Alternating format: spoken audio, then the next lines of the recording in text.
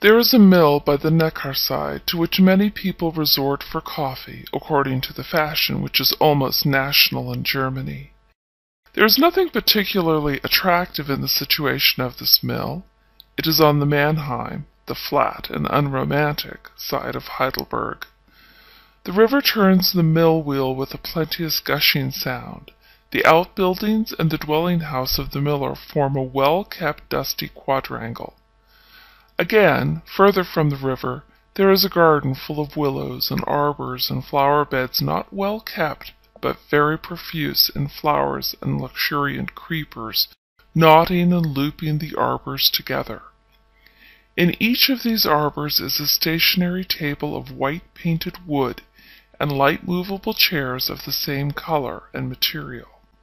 I went to drink coffee there with some friends in 1840 the stately old miller came out to greet us, as some of the party were known to him of old.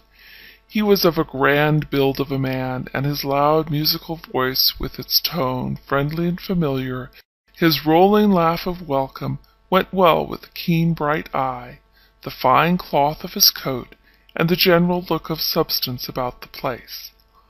Poultry of all kinds abounded in the mill yard, where there were ample means of livelihood for them strewed on the ground; but not content with this, the miller took out handfuls of corn from the sacks and threw liberally to the cocks and hens that ran almost under his feet in their eagerness. And all the time he was doing this, as it were habitually. He was talking to us, and ever and anon calling to his daughter and the serving maids to bid them hasten the coffee we had ordered. He followed us to an arbor, and saw us served to his satisfaction with the best of everything we could ask for, and then left us to go round to the different arbors and see that each party was properly attended to and as he went this great, prosperous, happy-looking man whistled softly one of the most plaintive airs I ever heard. His family have held this mill ever since the old Palatinate days, or rather, I should say, have possessed the ground ever since then, for two successive mills of theirs have been burnt down by the French. If you want to see Scherer in a passion, just talk to him of the possibility of a French invasion this moment, still whistling that mournful air, we saw the miller going down the steps that led from the somewhat raised garden into the mill yard, and so I seemed to have lost my chance of putting him in a passion. We had nearly finished our coffee and our kuchen and our cinnamon cake when heavy splashes fell on our thick, leafy covering. Quicker and quicker they came, coming through the tender leaves as if they were tearing them asunder. All the people in the garden were hurrying under shelter, or seeking for their carriages standing outside. Up the steps the miller came hastening with a crimson umbrella, fit to cover every one left in the garden, and followed by his daughter and one or two maidens, each bearing an umbrella. Come into the house, come in, I say! It is a summer storm, and will flood the place for an hour or two, till the river carries it away. Here, here! And we followed him back into his own house. We went into the kitchen first. Such an array of bright copper and tin vessels I never saw, and all the wooden things were as thoroughly scoured. The red tile floor was spotless when we went in, but in two minutes it was all over slop and dirt with the tread of many feet. But the kitchen was filled, and still the worthy miller kept bringing in more people under his great crimson umbrella. He even called the dogs in and made them lie down under the tables. His daughter said something to him in German, and he shook his head merrily at her. Everybody laughed. What did she say? I asked. She told him to bring the ducks in next. But indeed, if more people come, we shall be suffocated. What with the thundery weather and the stove and all these steaming clothes, I really think we must ask leave to pass on. Perhaps we might go in and see Frau Scherer. My friend asked the daughter of the house for permission to go into an inner chamber and see her mother. It was granted, and we went into a sort of saloon overlooking the Neckar, very small, very bright, and very close. The floor was slippery with polish, long, narrow pieces of looking glass against the walls reflected the perpetual motion of the river opposite. A white porcelain stove with some old-fashioned ornaments of brass about it, a sofa covered with Utrecht velvet, a table before it, and a piece of worsted-worked carpet under it, a vase of artificial flowers, and, lastly, an alcove with a bed in it, on which lay the paralyzed wife of the good miller, knitting busily, formed the furniture. I spoke as if this was all that was to be seen in the room, but, sitting quietly, while my friend kept up a brisk conversation in a language which I but half understood, my eye was caught by a picture in a dark corner of the room, and I got up to examine it more nearly. It was that of a young girl of extreme beauty, evidently of middle rank. There was a sensitive refinement in her face, as if she almost shrank from the gaze which, of necessity, the painter must have fixed upon her. It was not over well painted, but I felt that it must have been a good likeness, from the strong impress of peculiar character which I have tried to describe. From the dress, I should guess it to have been painted in the latter half of the last century, and I afterwards heard that I was right. There was a little pause in the conversation. "Will you ask Frau Scherer who this is?" My friend repeated my question and received a long reply in German. Then she turned round and translated it to me. "It is the likeness of a great aunt of her husband's." My friend was standing by me and looking at the picture with sympathetic curiosity. "See, here is the name on the open page of this Bible, Anna Scherer. 1778. Frau Scherer says there is a tradition in the family that this pretty girl with her complexion of lilies and roses lost her color so entirely through fright that she was known by the name of the Grey Woman. She speaks as if this Anna Scherer lived in some state of lifelong terror, but she does not know details, refers me to her husband for them. She thinks he has some papers which were written by the original of that picture for her daughter, who died in this very house not long after our friend there was married. We can ask Herr Scherer for the whole story if you like. Oh, yes, pray do, said I. And as our host came in at this moment to ask how we were faring, and to tell us that he had sent to Heidelberg for carriages to convey us home, Seeing no chance of the heavy rain abating, my friend, after thanking him, passed on to my request. Ah, said he, his face changing, the Aunt Anna had a sad history. It was all owing to one of those hellish Frenchmen, and her daughter suffered for it, the cousin Ursula, as we all called her when I was a child. To be sure, the good cousin Ursula was his child as well. The sins of the fathers are visited on their children. The lady would like to know all about it, would she? Well, there are papers, a kind of apology the Aunt Anna wrote for putting an end to her daughter's engagement, or rather, facts which she revealed that prevented cousin Ursula from marrying the man she loved, and so she would never have any other good fellow, else I have heard say my father would have been thankful to have made her his wife. All this time he was rummaging in the drawer of an old-fashioned bureau, and now he turned round with a bundle of yellow manuscript in his hand, which he gave to my friend, saying, Take it home, take it home, and if you care to make out our crabbed German writing, you may keep it as long as you like, and read it at your leisure. Only I must have it back again when you have done with it, that's all. And so we became possessed of the manuscript of the following letter, which it was our employment during many a long evening that ensuing winter to translate, and in some parts to abbreviate. The letter began with some reference to the pain which she had already inflicted upon her daughter by some unexplained opposition to a project of marriage.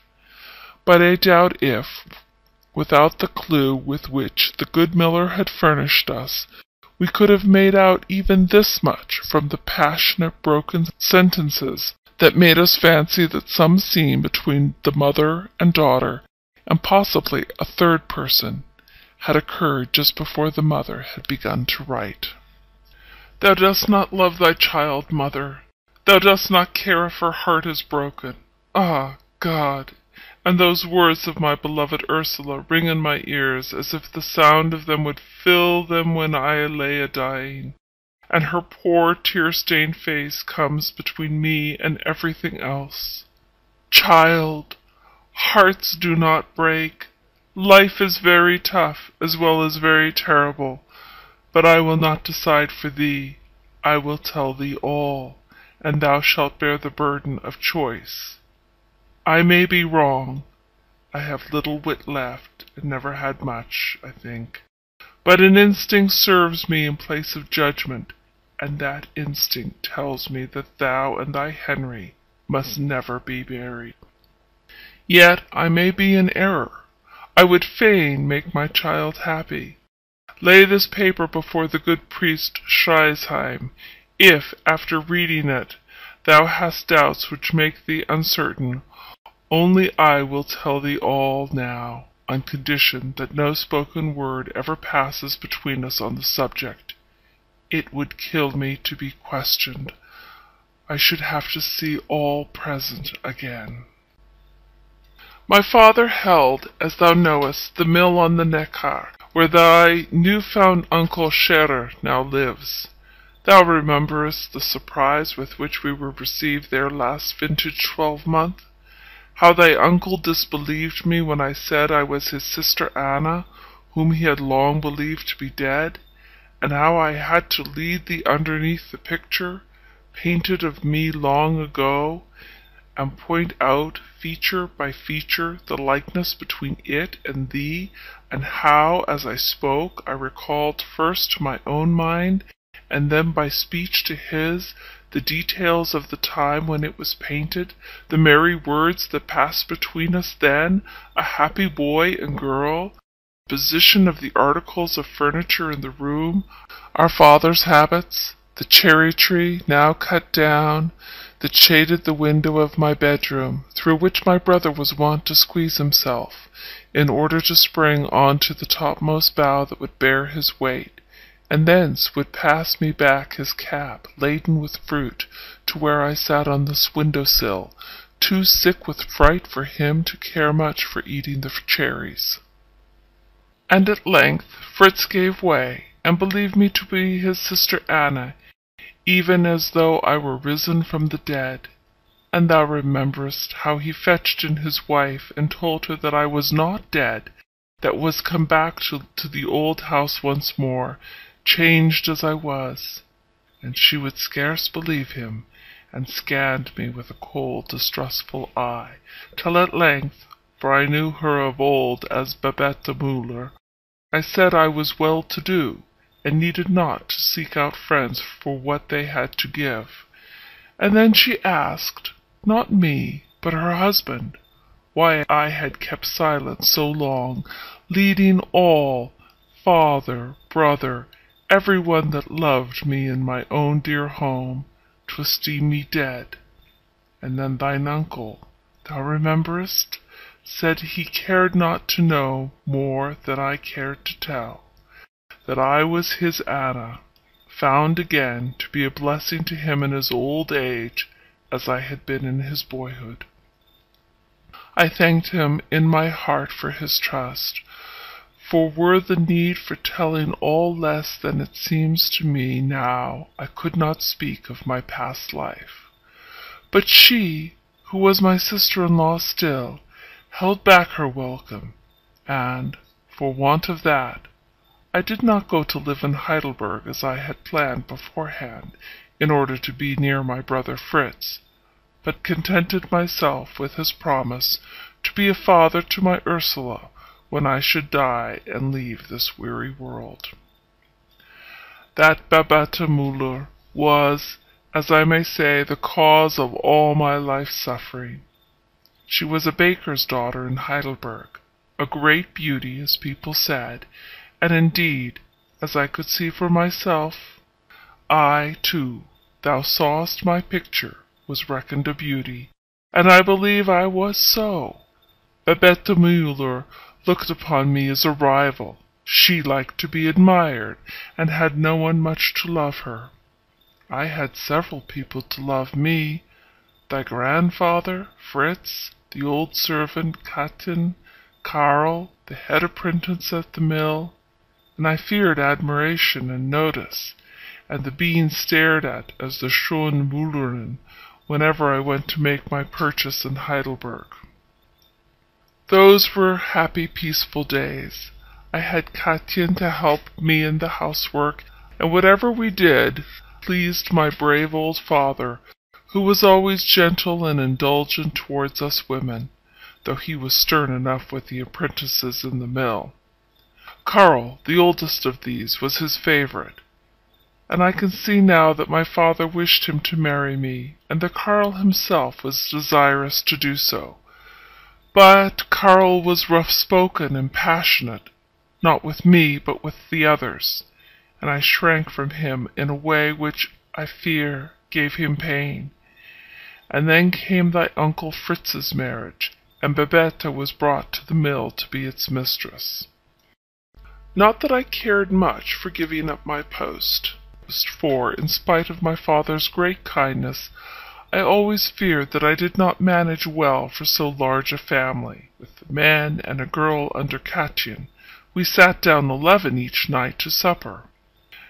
But when Babette began to find fault with Kätchen, I was unhappy at the blame that fell on faithful servants, and by and by I began to see that Babette was egging on Karl to make more open love to me, and, as she once said, to get done with it and take me off to a home of my own.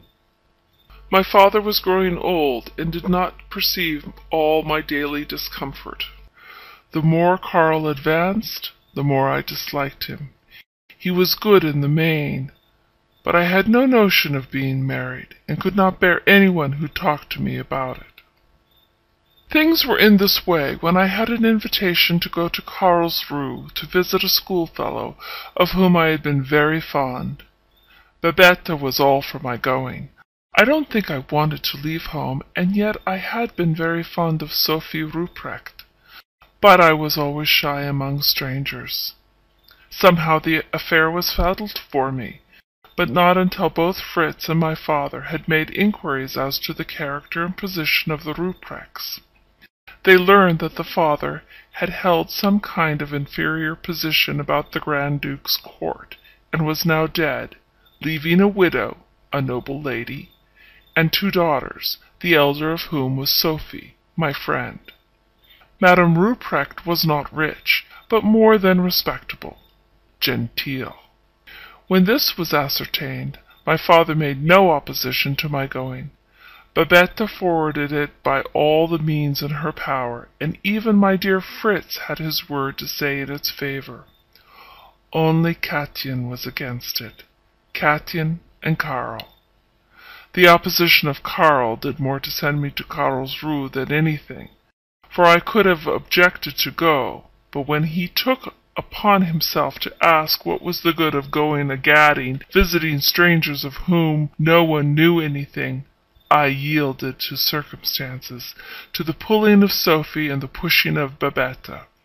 I was silently vexed, I remember, at Babette's inspection of my clothes, at the way in which she settled that this gown was too old-fashioned, or that too common, to go with me on my visit to a noble lady, and at the way in which she took upon herself to spend the money my father had given me to buy what was requisite for the occasion and yet I blamed myself, for everyone else thought her so kind for doing all this, and she herself meant kindly too.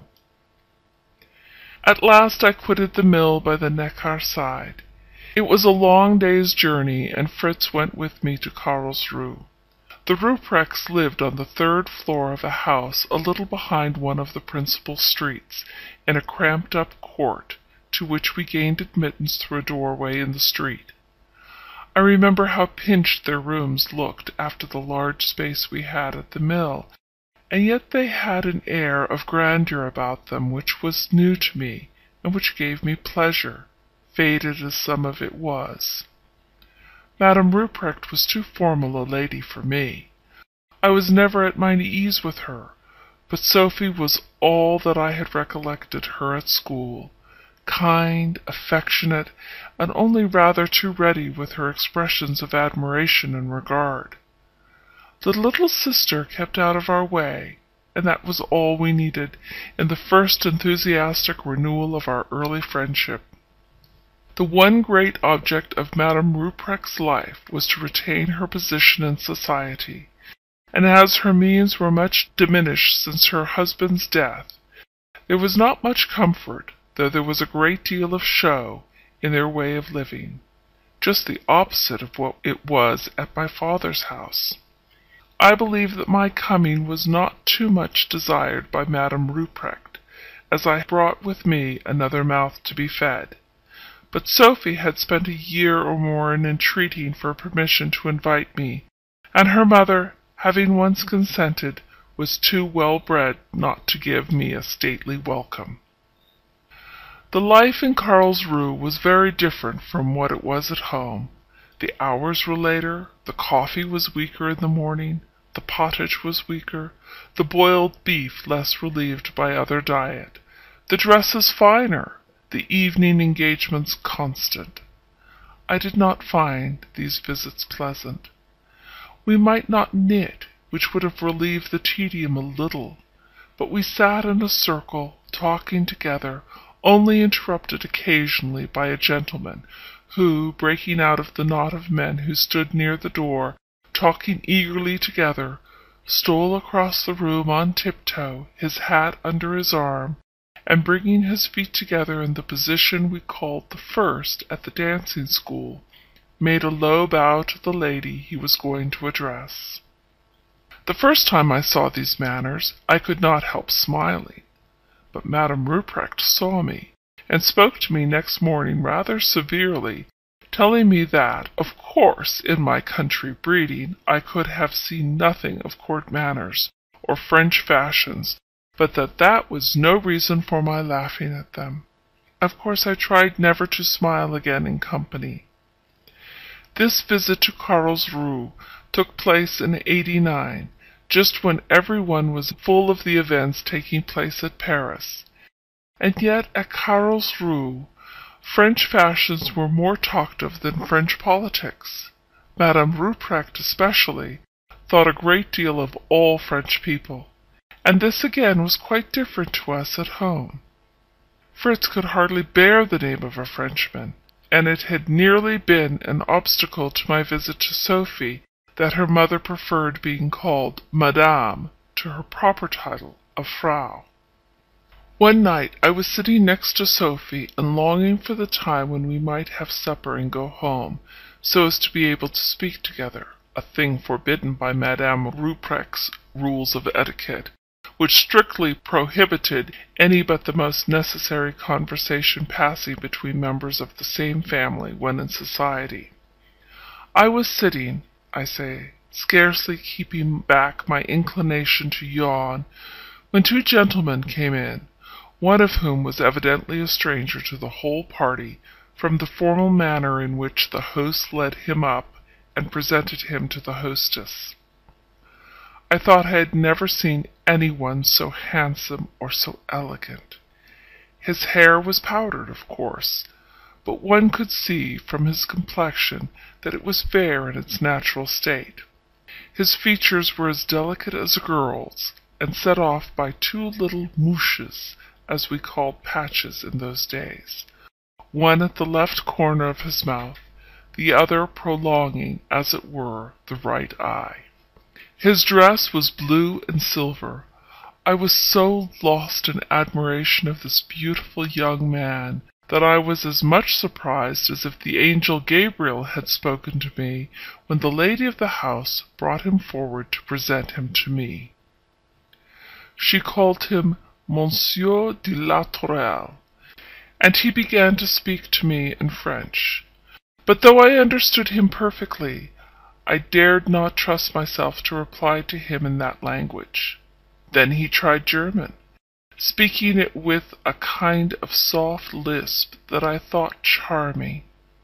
But before the end of the evening I became a little tired of the affected softness and effeminacy of his manners, and the exaggerated compliments he paid me, which had the effect of making all the company turn round and look at me. Madame Rupprecht was, however, pleased with the precise thing that displeased me. She liked either Sophie or me to create a sensation. Of course, she would have preferred that it should have been her daughter, but her daughter's friend was next best. As we went away I heard Madame Rupprecht and Monsieur de la Tourelle reciprocating civil speeches with might and main, from which I found out that the French gentleman was coming to call on us the next day. I do not know whether I was more glad or frightened, for I had been kept upon stilts of good manners all the evening. But still I was flattered when Madame Ruprecht spoke as if she had invited him, because he had shown pleasure in my society, and even more gratified by Sophie's ungrudging delight at the evident interest I had excited in so fine and agreeable a gentleman. Yet, with all this, they had hard work to keep me from running out of the salon the next day, when we heard his voice inquiring at the gate on the stairs for Madame Rupprecht. They had made me put on my Sunday gown, and they themselves were dressed as for a reception. When he was gone away, Madame Rupprecht congratulated me on the conquest I had made, for indeed he had scarcely spoken to anyone else beyond what mere civility required, and had almost invited himself to come in the evening to bring some new song, which was all the fashion in Paris, he said. Madame Rupprecht had been out all morning, as she told me, to glean information about Monsieur de la Tourelle. He was a proprietaire, had a small chateau on the Vosges mountains. He owned land there, but had a large income from some sources quite independent of this property. Altogether, he was a good match, as she emphatically observed. She never seemed to think that I could refuse him after this account of his wealth, nor do I believe she would have allowed Sophie a choice even had he been as old and ugly as he was young and handsome. I do not quite know.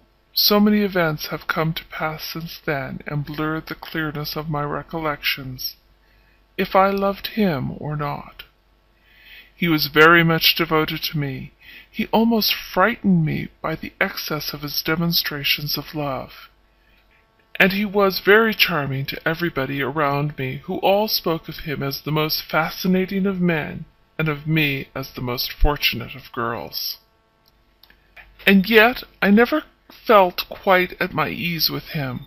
I was always relieved when his visits were over, although I missed his presence when he did not come. He prolonged his visit to the friend with whom he was staying at Carlsruhe on purpose to woo me. He loaded me with presents, which I was unwilling to take, only Madame Rupprecht seemed to consider me an effective prude if I refused them. Many of these presents consisted of articles of valuable old jewelry, evidently belonging to his family. By accepting these I doubled the ties which were formed around me by circumstances even more than by my own consent. In those days we did not write letters to absent friends as frequently as is done now, and I had been unwilling to name him in the few letters that I wrote home. At length, however, I learned from Madame Rupprecht that she had written to my father to announce the splendid conquest I had made, and to request his presence at my betrothal. I started with astonishment. I had not realized that affairs had gone so far as this. But when she asked me, in a stern, offended manner, what I had meant by my conduct if I did not intend to marry Monsieur de la Tourelle, I had received his visits, his presents, all his various advances, without showing any unwillingness or repugnance. And it was all true. I had shown no repugnance, though I did not wish to be married to him, at least, not so soon. What could I do but hang my head and silently consent to the rapid enunciation of the only course which now remained for me if I would not be esteemed a heartless coquette by all the rest of my days. There was some difficulty, which I afterwards learnt that my sister-in-law had obviated, about my betrothal taking place from home. My father and Fritz especially were for having me return to the mill and there be betrothed, and from thence be married. But the Rupprechts and Monsieur de la Tourelle were equally urgent on the other side, and Babette was unwilling to have the trouble of the commotion at the mill, and also, I think, a little disliked the idea of the contrast of my grander marriage with her own. So my father and Fritz came over to the betrothal. They were to stay at an inn in Carlsruhe for a fortnight, at the end of which time the marriage was to take place. Monsieur de la Tourelle told me he had business at home, which would oblige him to be absent during the interval between the two events, and I was very glad of it, for I did not think that he valued my father and my brother as I could have wished him to do. He was very polite to them, put on all the soft grand manner which he had rather dropped with me, and complimented us all round, beginning with my father and Madame Rupprecht, and ending with little Alvina. But he a little scoffed at the old-fashioned church ceremonies which my father insisted on, and I fancy Fritz must have taken some of his compliments as satire, for I saw certain signs of manner by which I knew that my future husband for all his civil words had irritated and annoyed my brother. But all the money arrangements were liberal in the extreme, and more than satisfied, almost surprised, my father. Even Fritz lifted up his eyebrows and whistled. I alone did not care about anything. I was bewitched, in a dream, a kind of despair. I had got into a net through my own timidity and weakness, and I did not see how to get out of it. I clung to my own home people that fortnight as I had never done before. Their voices, their ways were all so pleasant and familiar to me after the constraint in which I had been living. I might speak and do as I liked without being corrected by Madame Rupprecht or reproved in a delicate complimentary way by Monsieur de la Tourelle. One day I said to my father that I did not that I would rather go back to the dear old mill, but he seemed to feel this speech of mine as a dereliction of duty as great as if I had committed perjury, as if, after the ceremony of betrothal, no one had any right over me but my future husband and yet he asked me some solemn questions, but my answers were not such as to do me any good. Dost thou know any fault or crime in this man that should prevent God's blessing from resting on thy marriage with him? Dost thou feel aversion or repugnance to him in any way?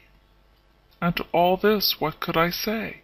I could only stammer out that I did not think I loved him enough and my poor old father saw in this reluctance only the fancy of a silly girl who did not know her own mind, but who had now gone too far to recede. So we were married in the court chapel, a privilege which Madame Rupprecht had used no end of efforts to obtain for us, and which she must have thought was to secure us all possible happiness both at the time and in recollection afterwards. We were married, and after two days spent in festivity at Carlsruhe, among all our new fashionable friends there, I bade good-bye for ever to my dear old father. I had begged my husband to take me by way of Heidelberg to his old castle in the Vosges, but I found an amount of determination under that effeminate appearance and manner for which I was not prepared, and he refused my first request so decidedly that I dared not urge it. Henceforth, Anna, said he, you will move in a different sphere of life, and though it is possible that you may have the power of showing favor to your relations from time to time, yet much or familiar intercourse will be undesirable, and is what I cannot allow. I felt almost afraid, after this formal speech, of asking my father and Fritz to come and see me, but when the agony of bidding them farewell overcame all my prudence, I did beg them to pay me a visit ere long. But they shook their heads, and spoke of business at home, of different kinds of life, of my being a Frenchwoman now. Only my father broke out at last with a blessing, and said, If my child is unhappy, which God forbid, let her remember that her father's house is ever open to her. I was on the point of crying out, Oh, take me back then now, my father, oh, my father, when I felt, rather than saw, my husband present near me. He looked on with a slightly contemptuous air, and taking my hand in his, he led me weeping away, saying that short farewells were always the best when they were inevitable. It took us two days to reach a chateau in the Vosges, for the roads were bad and the way difficult to ascertain. Nothing could be more devoted than he was all the time of the journey. It seemed as if he were trying in every way to make up for the separation which every hour made me feel the more complete between my present and my former life. I seemed as if I were only now wakening up to a full sense of what marriage was, and I dare say I was not a cheerful companion on the tedious journey. At length, jealousy of my regret for my father and brother got the better of Monsieur de la Tourelle, and he became so much displeased with me that I thought my heart would break with the sense of desolation. So it was in no cheerful frame of mind that we approached Les Rochers, and I thought that perhaps it was because I was so unhappy that the place looked so dreary. On one side, the chateau looked like a raw, new building hastily run up for some immediate purpose, without any growth of trees or underwood near it only the remains of the stone used for the building, not yet cleared away from the immediate neighborhood, although weeds and lichens had been suffered to grow near and over the heaps of rubbish.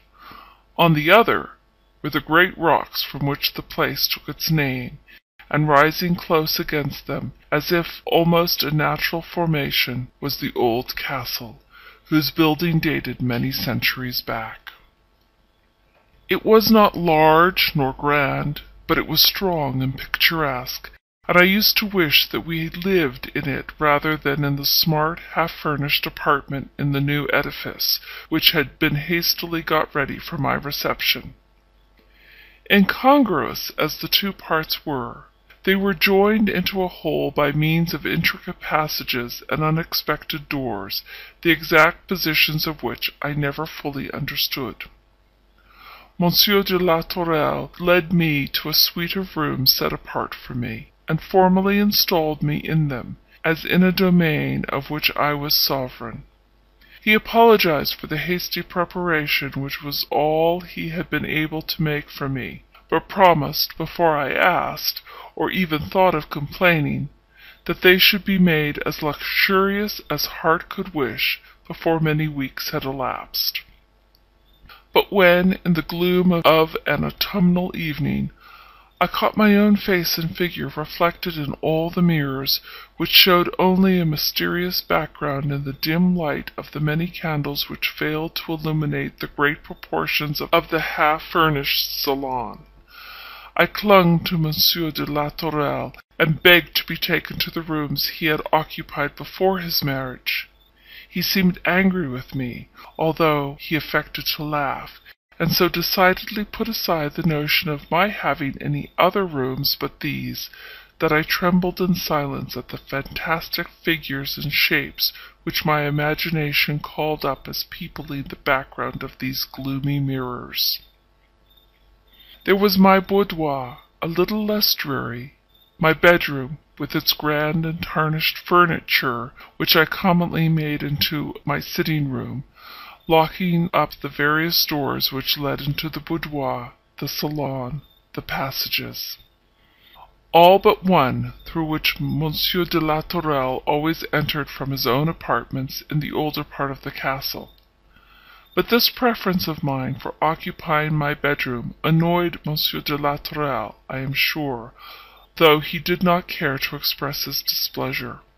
He would always allure me back into the salon, which I disliked more and more from its complete separation from the rest of the building by the long passage into which all the doors of my apartment opened.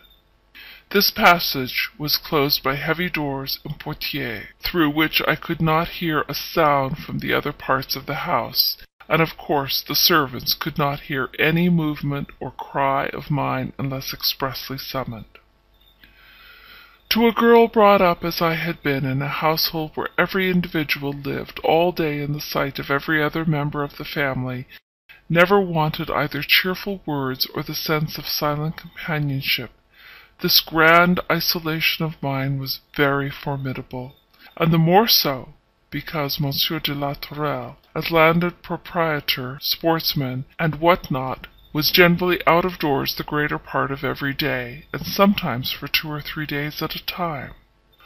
I had no pride to keep me from associating with the domestics. It would have been natural to me in many ways to have sought them out for a word of sympathy in those dreary days when I was left so entirely to myself, had they been like our kindly German servants. But I disliked them, one and all. I could not tell why. Some were civil, but there was a familiarity in their civility which repelled me. Others were rude, and treated me more as if I were an intruder than their master's chosen wife. And yet of the two sets, I liked these last the best. The principal male servant belonged to this latter class. I was very much afraid of him. He had such an air of suspicious surliness about him in all he did for me. And yet Monsieur de la Tourelle spoke of him as most valuable and faithful. Indeed, it sometimes struck me that Lefebvre ruled his master in some things, and this I could not make out.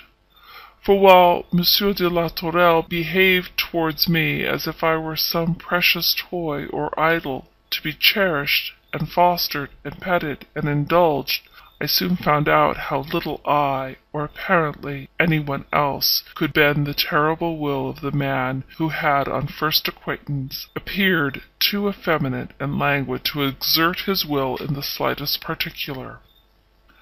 I had learnt to know his face better now, and to see that some vehement depth of feeling, the cause of which I could not fathom, made his grey eye glitter with pale light, and his lips contract, and his delicate cheek whiten on certain occasions. But all had been so open and above board at home that I had no experience to help me to unravel any mysteries among those who lived under the same roof. I understood that I had made what Madame Rupprecht and her set would have called a great marriage, because I lived in chateau with many servants, bound ostensibly to obey me as a mistress. I understood that Monsieur de la Tourelle was fond enough of me in his way, proud of my beauty, I dare say, for he often enough spoke about it to me. But he was also jealous and suspicious and uninfluenced by my wishes unless they tallied with his own. I felt at this time as if I could have been fond of him too, if he would have let me. But I was timid from my childhood, and before long my dread of his displeasure, coming down like thunder in the midst of his love, for such slight causes as a hesitation in reply, a wrong word, or a sigh for my father, conquered my humorous inclination to love one who was so handsome, so accomplished, so indulgent and devoted. But if I could not please him when indeed I loved him, you may imagine how often I did wrong when I was so much afraid of him as to quietly avoid his company for fear of his outbursts of passion. One thing I remember noticing, that the more Monsieur de la Tourelle was displeased with me, the more Lefebvre seemed to chuckle, and when I was restored to favour, Sometimes on as sudden an impulse as that which occasioned my disgrace, Lefebvre would look askance at me with his cold, malicious eyes; and once or twice, at such times, he spoke most disrespectfully to Monsieur de la Tourelle.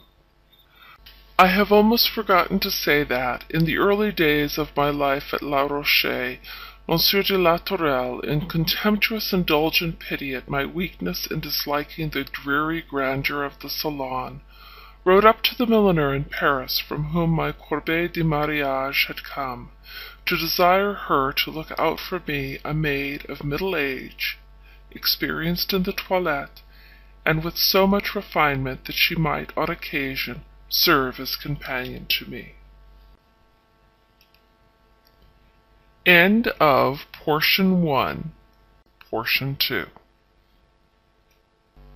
A Norman woman, Amante by name, was sent to Les Rochers by the Paris milliner to become my maid. She was tall and handsome, though upwards of forty, and somewhat gaunt. But on first seeing her I liked her. She was neither rude nor familiar in her manners and had a pleasant look of straightforwardness about her that I had missed in all the inhabitants of the chateau, and had foolishly set down in my own mind as a national want. Amante was directed by Monsieur de la Tourelle to sit in my boudoir, and to be always within call. He also gave her many instructions as to her duties in matters which, perhaps, strictly belonged to my department of management. But I was young and inexperienced, and thankful to be spared any responsibility. I dare say it was true what Monsieur de la Tourelle said, before many weeks had elapsed, that, for a great lady, a lady of a castle, I became sadly too familiar with my Norman waiting maid. But you know that by birth we were not very far apart in rank. Amante was the daughter of a Norman farmer, I of a German miller. And besides that, my life was so lonely. It almost seemed as if I could not please my husband. He had written for someone capable of being my companion at times, and now he was jealous of my free regard for her, angry because I could sometimes laugh at her original tunes and amusing proverbs, while when with him I was too much frightened to smile. From time to time families from a distance of some leagues drove through the bad roads in their heavy carriages to pay us a visit, and there was an occasional talk of our going to Paris when public affairs should be a little more settled. These little events and plans were the only variations in my life for the first twelve months, if I except the alternations in Monsieur de la Tourelle's temper, his unreasonable anger, and his passionate fondness. Perhaps one of the reasons that made me take pleasure and comfort in Amante's society was, that whereas I was afraid of everybody, I do not think I was half as much afraid of things as of persons. Amante feared no one. She would quietly beard Lefebvre, and he respected her all the more for it. She had a knack of putting questions to Monsieur de la Tourelle which respectfully informed him that she had detected the weak point, but forbore to press him too closely upon it out of deference to his position as her master. And with all her shrewdness to others, she had quite tender ways with me, all the more so at this time because she knew, what I had not yet ventured to tell Monsieur de la Tourelle, that by and by I might become a mother. that wonderful object of mysterious interest to single women who no longer hope to enjoy such blessedness themselves. It was once more autumn, late in October, but I was reconciled to my habitation. The walls of the new part of the building no longer looked bare and desolate. The debris had been so far cleared away by Monsieur de la Tourelle's desire as to make me a little flower garden, in which I tried to cultivate those plants that I remembered as growing at home. Amante and I had moved the furniture in the rooms, and adjusted it to our liking. My husband had ordered many an article from time to time that he thought would give me pleasure and I was becoming tame to my apparent imprisonment in a certain part of the great building, the whole of which I had never yet explored. It was October, as I say, once more. The days were lovely, though short in duration, and Monsieur de la Tourelle had occasion, so he said, to go to that distant estate the superintendence of which so frequently took him away from home. He took Lefebvre with him and possibly some more of the lackeys. He often did, and my spirits rose a little at the thought of his absence. And then the new sensation that he was the father of my unborn babe came over me, and I tried to invest him with this fresh character. I tried to believe that it was his passionate love for me that made him so jealous and tyrannical imposing as he did restrictions on my very intercourse with my dear father, from whom I was so entirely separated as far as personal intercourse was concerned. I had, it is true, let myself go into a sorrowful review of all the troubles which lay hidden beneath the seeming luxury of my life. I knew that no one cared for me except my husband and Amante for it was clear enough to see that I, as his wife, and also as a parvenu, was not popular among the few neighbors who surrounded us. And as for the servants, the women were all hard and impudent looking, treating me with a semblance of respect that had more of mockery than reality in it, while the men had a lurking kind of fierceness about them sometimes displayed even to Monsieur de la Tourelle, who, on his part, it must be confessed, was often severe even to cruelty in his management of them. My husband loved me, I said to myself, but I said it almost in the form of a question. His love was shown fitfully, and more in ways calculated to please himself than to please me. I felt that for no wish of mine would he deviate one tittle from any predetermined course of action.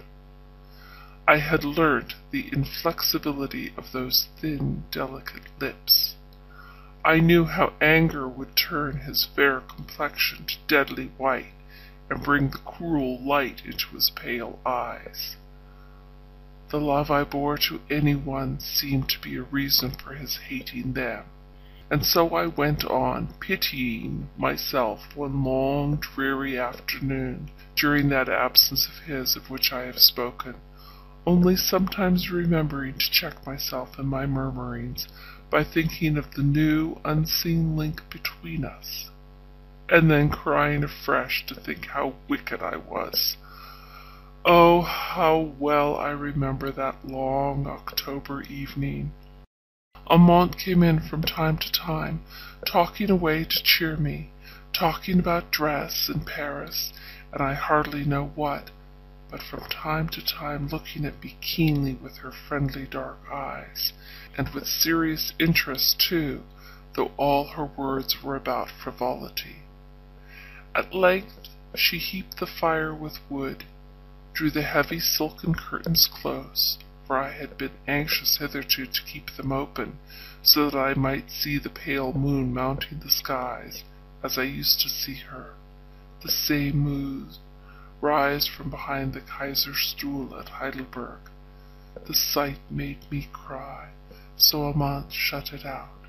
She dictated to me as a nurse does to a child. Now, Madame must have the little kitten to keep her company, she said, while I go and ask Martin for a cup of coffee. I remember that speech, and the way it roused me, for I did not like Amante to think I wanted amusing by a kitten. It might be my petulance, but this speech, such as she might have made to a child, annoyed me, and I said that I had reason for my lowness of spirits, meaning that they were not of so imaginary a nature that I could be diverted from them by the gambols of a kitten. So though I did not choose to tell her all, I told her a part, and as I spoke, I began to suspect that the good creature knew much of what I withheld, and that the little speech about the kitten was more thoughtfully kind than it had seemed at first. I said that it was so long since I had heard from my father, that he was an old man, and so many things might happen, I might never see him again, and I so seldom heard from him or my brother. It was a more complete and total separation than I had ever anticipated when I married, and something of my home and my life previous to my marriage I told the good Amante, for I had not been brought up as a great lady, and the sympathy of any human being was precious to me. Amante listened with interest, and in return told me some of the events and sorrows of her own life. Then, remembering her purpose, she set out in search of the coffee, which ought to have been brought to me an hour before, but in my husband's absence my wishes were but seldom attended to, and I never dared to give orders. Presently she returned, bringing the coffee and a great large cake. See, said she, setting it down. Look at my plunder. Madame must eat. Those who eat always laugh. And, besides, I have a little news that will please Madame. Then she told me that, lying on a table in the great kitchen, was a bundle of letters come by the courier from Strasbourg that very afternoon. Then Fresh from her conversation with me, she had hastily untied the string that bound them, but had only just traced out one that she thought was from Germany, when a servant man came in, and, with the start he gave her, she dropped the letters, which he picked up, swearing at her for having untied and disarranged them. She told him that she believed there was a letter there for her mistress, but he only swore the more, saying that if there was, it was no business of hers, or of his either, for that he had the strictest orders always to take all letters that arrived during his master's absence into the private sitting room of the latter, a room into which I had never entered, although it opened out of my husband's dressing room. I asked Amante if she had not conquered and brought me this letter. No, indeed, she replied. It was almost as much as her life was worth to live among such a set of servants. It was only a month ago that Jacques had stabbed Valentine for some jesting talk. Had I never missed Valentine, that handsome young lad who carried up the wood into my salon? Poor fellow! He lies dead and cold now, and they said in the village he had put an end to himself. Those of the household knew better. Oh! I need not be afraid. Jacques was gone, no one knew where, but with such people it was not safe to upbraid or insist. Monsieur would be at home the next day, and it would not be long to wait. But I felt as if I could not exist till the next day without the letter. It might be to say that my father was ill, dying. He might cry for his daughter from his deathbed. In short, there was no end to the thoughts and fancies that haunted me. It was of no use for Amante to say that, after all, she might be mistaken, that she did not read writing well, that she had had but a glimpse of the address. I let my coffee cool, my food all became distasteful, and I wrung my hands with impatience to get at the letter and have some news of my dear ones at home. all the time Amante kept her imperturbable good temper, first reasoning, then scolding. At last she said, as if wearied out, that if I would consent to make a good supper, she would see what could be done as to our going to Monsieur's room in search of the letter after the servants were all gone to bed. We agreed to go together when all was still and look over the letters. There could be no harm in that. And yet, somehow, we were such cowards we dared not do it openly and in the face of the household. Presently my supper came up partridges, bread, fruits, and cream. How well I remember that supper! We put the untouched cake away in a sort of buffet, and poured the cold coffee out of the window, in order that the servants might not take offence at the apparent fancifulness of sending down for food I could not eat. I was so anxious for all to be in bed that I told the footman who served that he need not wait to take away the plates and dishes, but might go to bed. Long after I thought the house was quiet, Amante, in her caution, made me wait. It was past eleven before we set out, with cat-like steps and veiled light, along the passages, to go to my husband's room and steal my own letter, if it was indeed there a fact about which Amante had become very uncertain in the progress of our discussion. To make you understand my story, I must now try to explain to you the plan of the chateau.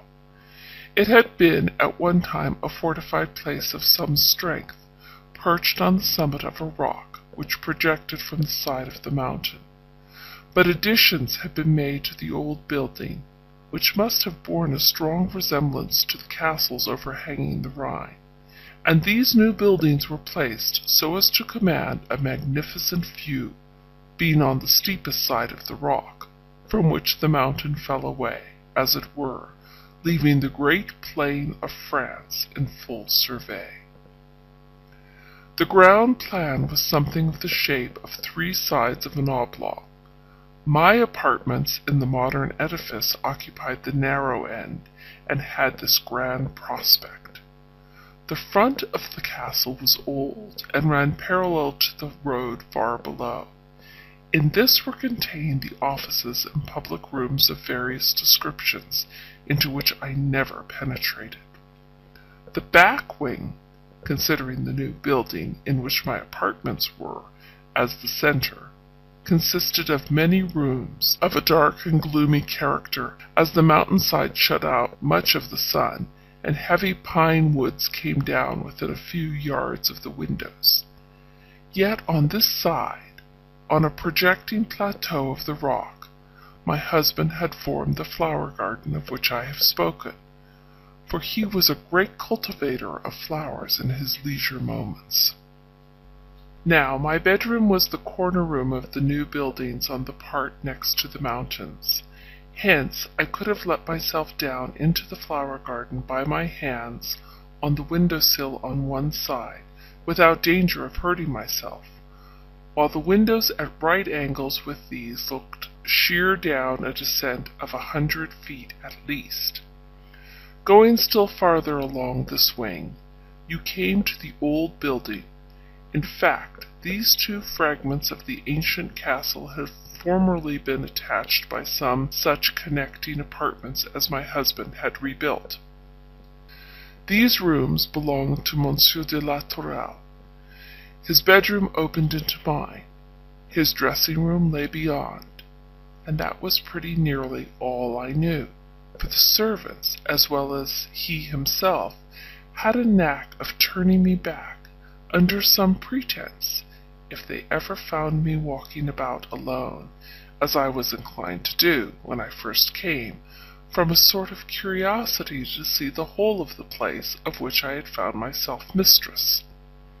Monsieur de la Tourelle never encouraged me to go out alone, either in a carriage or for a walk, saying always that the roads were unsafe in those disturbed times. Indeed, I have sometimes fancied since that the flower garden, to which the only access from the castle was through his rooms, was designed in order to give me exercise and employment under his own eye. But to return to that night. I knew, as I have said, that Monsieur de la Tourelle's private room opened out of his dressing room, and this out of his bedroom, which again opened into mine, the corner room. But there were other doors into all these rooms, and these doors led into a long gallery, lighted by windows looking into the inner court. I do not remember our consulting much about it. We went through my room into my husband's apartment, through the dressing room, but the door of communication into his study was locked, so there was nothing for it but to turn back and go by the gallery to the other door. I recollect noticing one or two things in these rooms, then seen by me for the first time. I remember the sweet perfume that hung in the air, the scent bottles of silver that decked his toilet table, and the whole apparatus for bathing and dressing more luxurious even than those which he had provided for me. But the room itself was less splendid in its proportions than mine. In truth, the new buildings ended at the entrance to my husband's dressing room, there were deep window recesses in walls eight or nine feet thick, and even the partitions between the chambers were three feet deep, but over all these doors or windows there fell thick, heavy draperies, so that I should think no one could have heard in one room what passed in another. We went back into my room and out into the gallery. We had to shade our candle from a fear that possessed us, I don't know why, lest some of the servants in the opposite wing might trace our progress towards the part of the castle unused by anyone except my husband. Somehow, I had always the feeling that all the domestics, except Amante, were spies upon me, and that I was trammelled in a web of observation and unspoken limitation extending over all my actions. There was a light in the upper room. We paused, and Amante would have again retreated, but I was chafing under the delays. What was the harm of seeking my father's unopened letter to me in my husband's study? I, generally the coward, now blamed Amante for her unusual timidity but the truth was, she had far more reason for suspicion as to the proceedings of that terrible household than I had ever known of. I urged her on. I pressed on myself. We came to the door, locked, but with the key in it. We turned it. We entered. The letters lay on the table their white oblongs catching the light in an instant and revealing themselves to my eager eyes, hungering after the words of love from my peaceful, distant home. But just as I pressed forward to examine the letters, the candle which Amante held, caught in some draught, went out, and we were in darkness. Amante proposed that we should carry the letters back to my salon, collecting them as well as we could in the dark, and returning all but the expected one for me. But I begged her to return to my room, where I kept tinder and flint, and to strike a fresh light. And I remained alone in the room, of which I could only just distinguish the size and the principal articles of furniture. A large table, with a deep overhanging cloth in the middle, escritoire, and other heavy articles against the walls. All this I could see as I stood there, my hand on the table close by the letters, my face towards the window, which, both from the darkness of the wood growing high up the mountain side and the faint light of the declining moon, seemed only like an oblong of paler purpler black than the shadowy room. How much I remembered from my one instantaneous glance before the candle went out, how much I saw as my eyes became accustomed to the darkness, I do not know, but even now, in my dreams, comes up that room of horror, distinct in its profound shadow.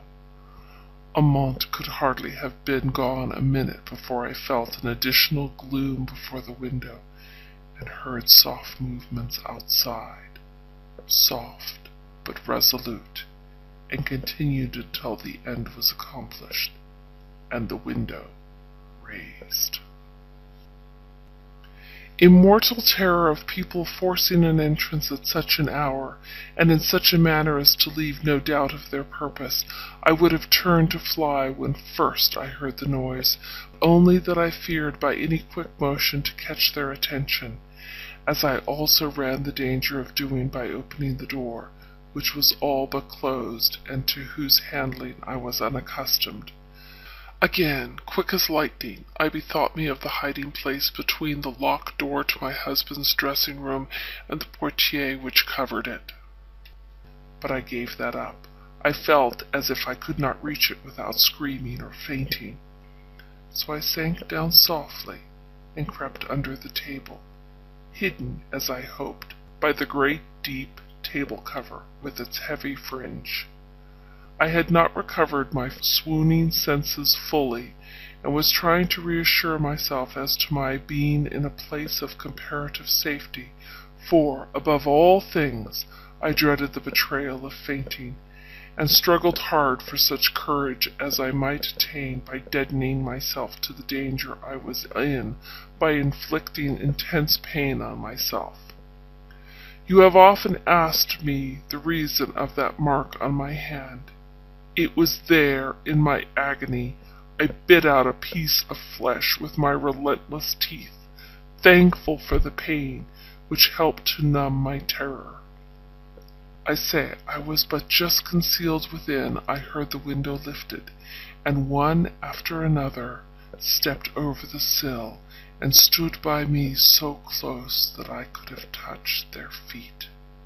Then they laughed and whispered my brain swam so that I could not tell the meaning of their words, but I heard my husband's laughter among the rest, low, hissing, scornful, as he kicked something heavy that they had dragged in over the floor and which lay near me, so near that my husband's kick, in touching it, touched me too.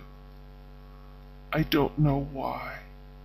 I can't tell how, but some feeling, and not curiosity, prompted me to put out my hand, ever so softly, ever so little, and feel in the darkness for what lay spurned beside me. I stole my groping palm up the clenched and chilly hand of a corpse. Strange to say, this roused me to an instant vividness of thought. Till this moment I had almost forgotten Amante.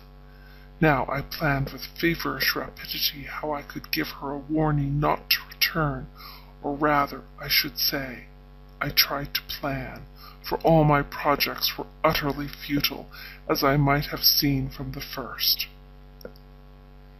I could only hope she would hear the voices of those who were now busy in trying to kindle a light, swearing awful oaths at the mislaid articles which would have enabled them to strike fire.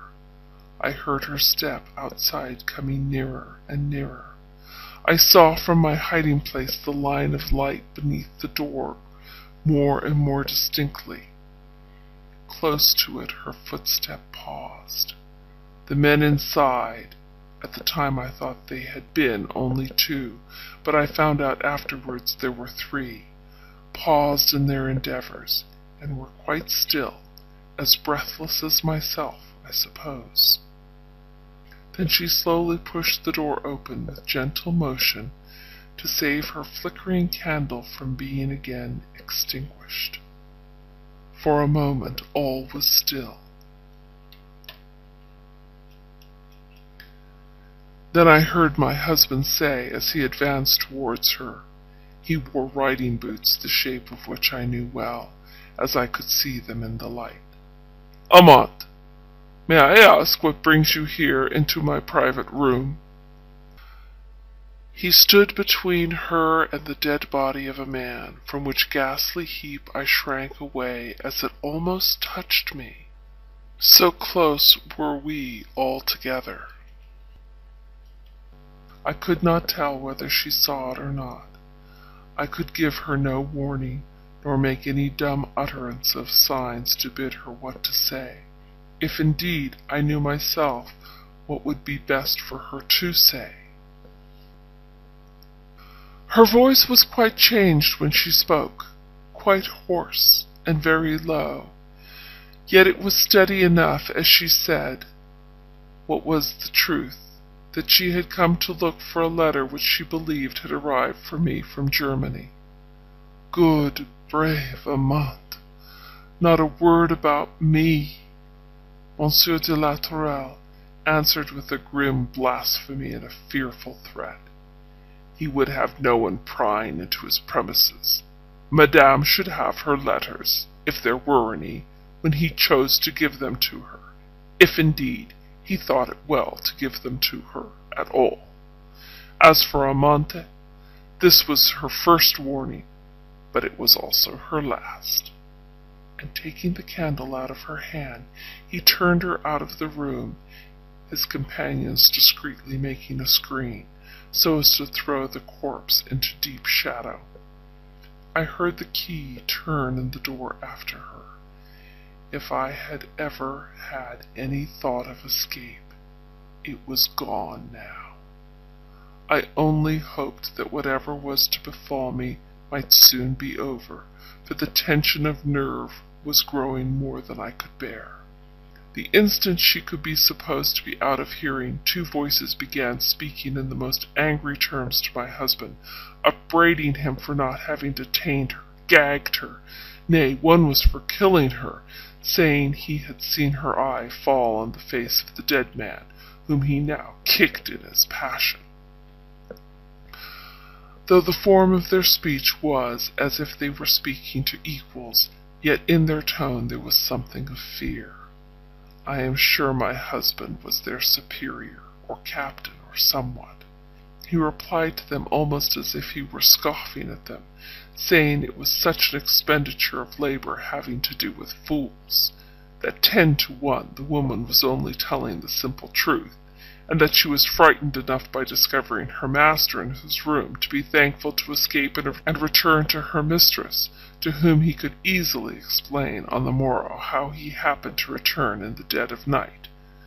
But his companions fell to cursing me and saying that since Monsieur de la Tourelle had been married he was fit for nothing but to dress himself fine and scent himself with perfume, that, as for me, they could have got him twenty girls prettier, and with far more spirit in them. He quietly answered that I suited him, and that was enough. All this time they were doing something, I could not see what, to the corpse. Sometimes they were too busy rifling the dead body, I believe, to talk.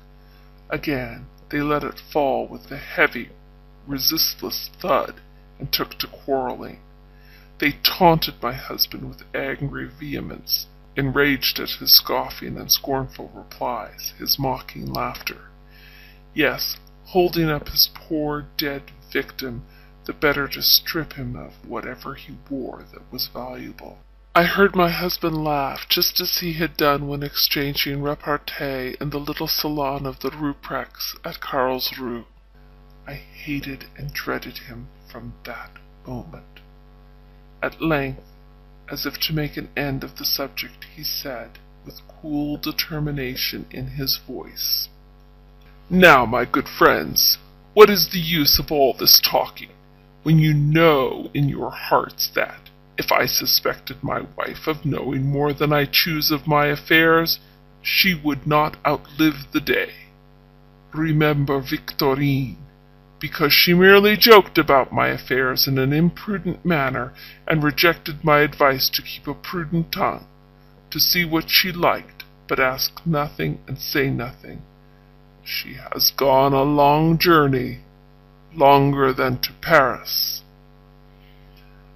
This one is different to her. We all know that Madame Victorine knew. She was such a chatterbox. But this one may find out a vast deal and never breathe a word about it, she is so sly. Some fine day we may have the country raised, and the gendarmes down upon us from Strasbourg, and all owing to your pretty doll with her cunning ways of coming over you. I think this roused Monsieur de la Tourelle a little from his contemptuous indifference, for he ground an oath through his teeth, and said, Feel! This dagger is sharp, Henri. If my wife breathes a word, and I am such a fool as not to have stopped her mouth effectually before she can bring down gendarmes upon us, just let that good steel find its way to my heart. Let her guess but one tittle. Let her have but one slight suspicion that I am not a grand proprietaire, much less imagine that I am chief of chauffeur, and she follows Victorine on the long journey beyond Paris that very day. She'll outwit you yet, or I never judged women well. Those still silent ones are the devil. She'll be off during some of your absences, having picked out some secret that will break us all on the wheel. Bah! said his voice, and then in a minute he added, Let her go if she will. But where she goes, I will follow. So don't cry before you're hurt. By this time they had nearly stripped the body, and the conversation turned on what they should do with it. I learnt that the dead man was the Sieur de Poissy, a neighbouring gentleman, whom I had often heard of as hunting with my husband.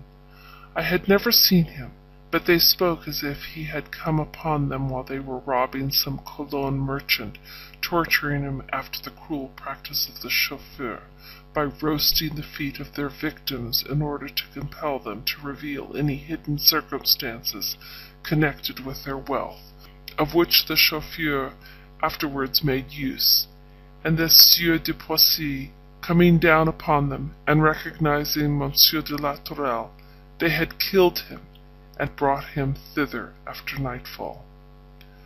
I heard him whom I called my husband laugh his little light laugh as he spoke of the way in which the dead body had been strapped before one of the riders in such a way that it appeared to any passer-by as if, in truth, the murderer were tenderly supporting some sick person. He repeated some mocking reply of double meaning, which he himself had given to some one who made inquiry. He enjoyed the play upon words, softly applauding his own wit. And all the time the poor helpless outstretched arms of the dead lay close to his dainty boot. Then another stooped, my heart stopped beating, and picked up a letter lying on the ground, a letter that had dropped out of Monsieur de Poissy's pocket, a letter from his wife full of tender words of endearment and pretty babblings of love. This was read aloud with coarse, ribald comments on every sentence, each trying to outdo the previous speaker. When they came to some pretty words about a sweet Maurice, their little child away with its mother on some visit, they laughed at Monsieur de la Tourelle, and told him that he would be hearing such woman's drivelling some day.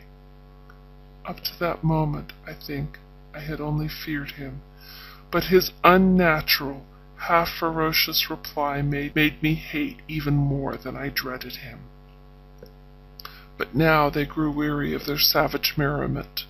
The jewels and watch had been apprised, the money and papers examined, and apparently there was some necessity for the body being interred quietly and before daybreak. They had not dared leave him where he was slain for fear lest people should come and recognize him and raise the hue and cry upon them.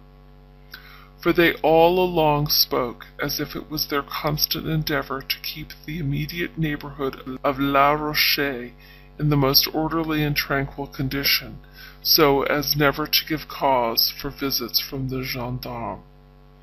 They disputed a little as to whether they should make their way into the castle larder through the gallery, and satisfy their hunger before the hasty interment, or afterwards. I listened with eager, feverish interest as soon as this meaning of their speeches reached my hot and troubled brain for at the time the words they uttered seemed only to stamp themselves with terrible force on my memory, so that I could hardly keep from repeating them aloud like a dull, miserable, unconscious echo. But my brain was numb to the sense of what they said, unless I myself were named, and then, I suppose, some instinct of self-preservation stirred within me and quickened my sense and how I strained my ears and nerved my hands and limbs, beginning to twitch with convulsive movements which I feared might betray me. I gathered every word they spoke, not knowing which proposal to wish for, but feeling that whatever was finally decided upon, my only chance of escape was drawing near. I once feared lest my husband should go to his bedroom before I had had that one chance, in which case he would most likely have perceived my absence. He said that his hands were soiled. I shuddered, for it might be with life blood, and he would go and cleanse them. But some bitter jest turned his purpose, and he left the room with the other two, left it by the gallery door, left me alone in the dark with the stiffening corpse. Now, now was my time, if ever, and yet I could not move. It was not my cramped and stiffened joints that crippled me, it was the sensation of that dead man's close presence. I almost fancied, I almost fancy still, I heard the arm nearest me move, lift itself up, as if once more imploring, and fall in dead despair. At that fancy, if fancy it were, I screamed aloud in mad terror, and the sound of my own strange voice broke the spell. I drew myself to the side of the table farthest from the corpse, with as much slow caution as if I really could have feared the clutch of that poor dead arm, powerless for evermore. I softly raised myself up, and stood, sick and trembling, holding by the table, too dizzy to know what to do next. I nearly fainted when a low voice spoke, when Amante, from the outside of the door, whispered, Madame! The faithful creature had been on the watch, had heard my scream, and having seen the three ruffians troop along the gallery down the stairs and across the court to the offices in the other wing of the castle, she had stolen to the door of the room in which I was. The sound of her voice gave me strength. I walked straight towards it, as one benighted on a dreary moor, suddenly perceiving the small, steady light which tells of human dwellings, takes heart, and steers straight onward. Where I was, where that voice was, I knew not, but go to it I must, or die. The door once opened, I know not by which of us, I fell upon her neck, grasping her tight, till my hands ached with the tension of their hold. Yet she never uttered a word, only she took me up in her vigorous arms, and bore me to my room, and laid me on my bed. I do not know more. As soon as I was placed there I lost sense. I came to myself with a horrible dread lest my husband was by me, with the belief that he was in the room, in hiding, waiting to hear my first words, watching for the least sign of the terrible knowledge I possessed, to murder me.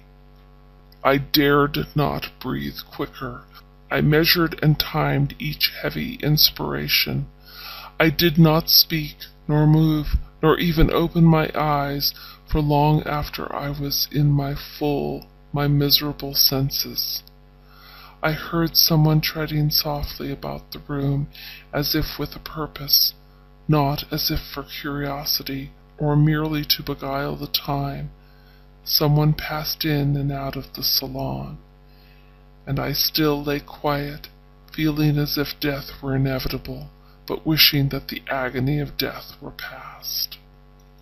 Again faintness stole over me, but just as I was sinking into the horrible feeling of nothingness, I heard Amante's voice close to me, saying, Drink this, madame, and let us be gone. All is ready. I let her put her arm under my head and raise me, and pour something down my throat. All the time she kept talking in a quiet, measured voice, unlike her own, so dry and authoritative. She told me that a suit of her clothes lay ready for me, that she herself was as much disguised as the circumstances permitted her to be, that what provisions I had left from my supper were stowed away in her pockets.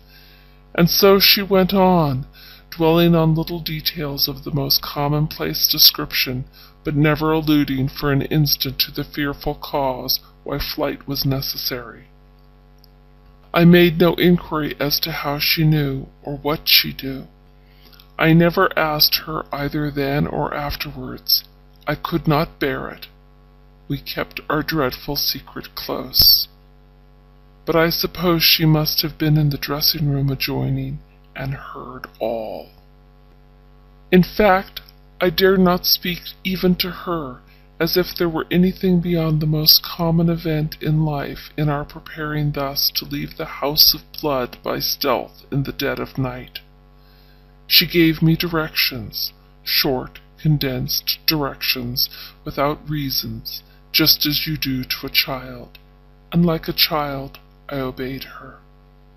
She went often to the door and listened, and often, too, she went to the window and looked anxiously out. For me, I saw nothing but her, and I dared not let my eyes wander from her for a minute. I heard nothing in the deep midnight silence but her soft movements and the heavy beating of my own heart. At last she took my hand and led me in the dark through the salon once more into the terrible gallery where across the black darkness the windows admitted pale, sheeted ghosts of light upon the floor. Clinging to her I went, unquestioning, for she was human sympathy to me after the isolation of my unspeakable terror. On we went, turning to the left instead of to the right, past my suite of sitting rooms where the gilding was red with blood, into that unknown wing of the castle that fronted the main road lying parallel far below. She guided me along the basement passages to which we had now descended until we came to a little open door, through which the air blew chill and cold, bringing for the first time a sensation of life to me.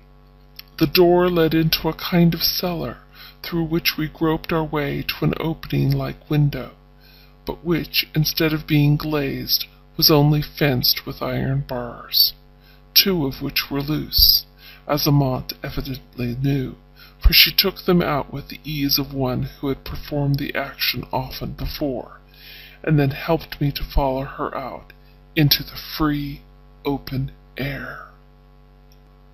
We stole round the end of the building, and on turning the corner, she first, I felt her hold on me tighten for an instant, and the next step I, too, heard distant voices and the blows of a spade upon the heavy soil, for the night was very warm and still.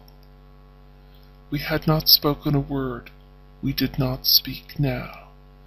Touch was safer and as expressive. She turned down towards the high road. I followed. I did not know the path. We stumbled again and again, and I was much bruised, so doubtless was she, but bodily pain did me good.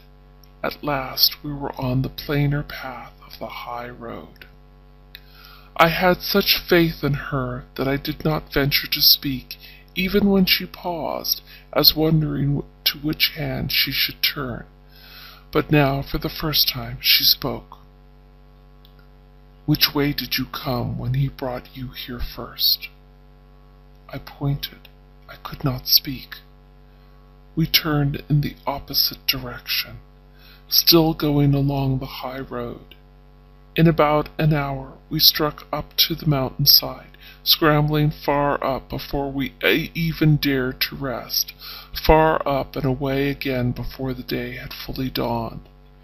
Then we looked about for some place of rest and concealment, and now we dared to speak in whispers.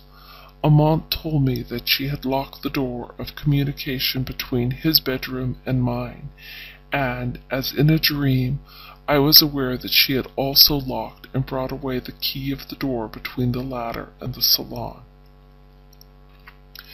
He will have been too busy this night to think much about you. He will suppose you are asleep. I shall be the first to be missed, but they will only just now be discovering our loss. I remember those last words of hers made me pray to go on. I felt as if we were losing precious time in thinking either of rest or concealment, but she hardly replied to me, so busy was she in seeking out some hiding place. At length, giving it up in despair, we proceeded onwards a little way. The mountainside sloped downwards rapidly, and in the full morning light we saw ourselves in a narrow valley made by a stream which forced its way along it. About a mile lower down there rose the pale blue smoke of a village. A mill wheel was lashing up the water close at hand, though out of sight. Keeping under the cover of every sheltering tree or bush, we worked our way down past the mill, down to a one-arched bridge which doubtless formed part of the road between the village and the mill. This will do, said she, and we crept under the space, and climbing a little way up the rough stone work, we seated ourselves on a projecting ledge, and crouched in the deep, damp shadow. Amante sat a little above me, and made me lay my head on her lap. Then she fed me, and took some food herself, and opening out her great dark cloak, she covered up every light-colored speck about us, and thus we sat, shivering and shuddering, yet feeling a kind of rest through it all, simply from the fact that motion was no longer imperative, and that during the daylight our only chance of safety was to be still. But the damp shadow in which we were sitting was blighting, from the circumstance of the sunlight never penetrating there, and I dreaded lest, before night and the time for exertion again came on, I should feel illness creeping all over me. To add to our discomfort, it had rained the whole day long, and the stream, fed by a thousand little mountain brooklets, began to swell into a torrent, rushing over the stones with a perpetual and dizzying noise. Every now and then I was wakened from the painful doze into which I continually fell by a sound of horses' feet over our head, sometimes lumbering heavily as if dragging a burden, sometimes rattling and galloping, and with the sharper cry of men's voices coming cutting through the roar of the waters. At length day fell.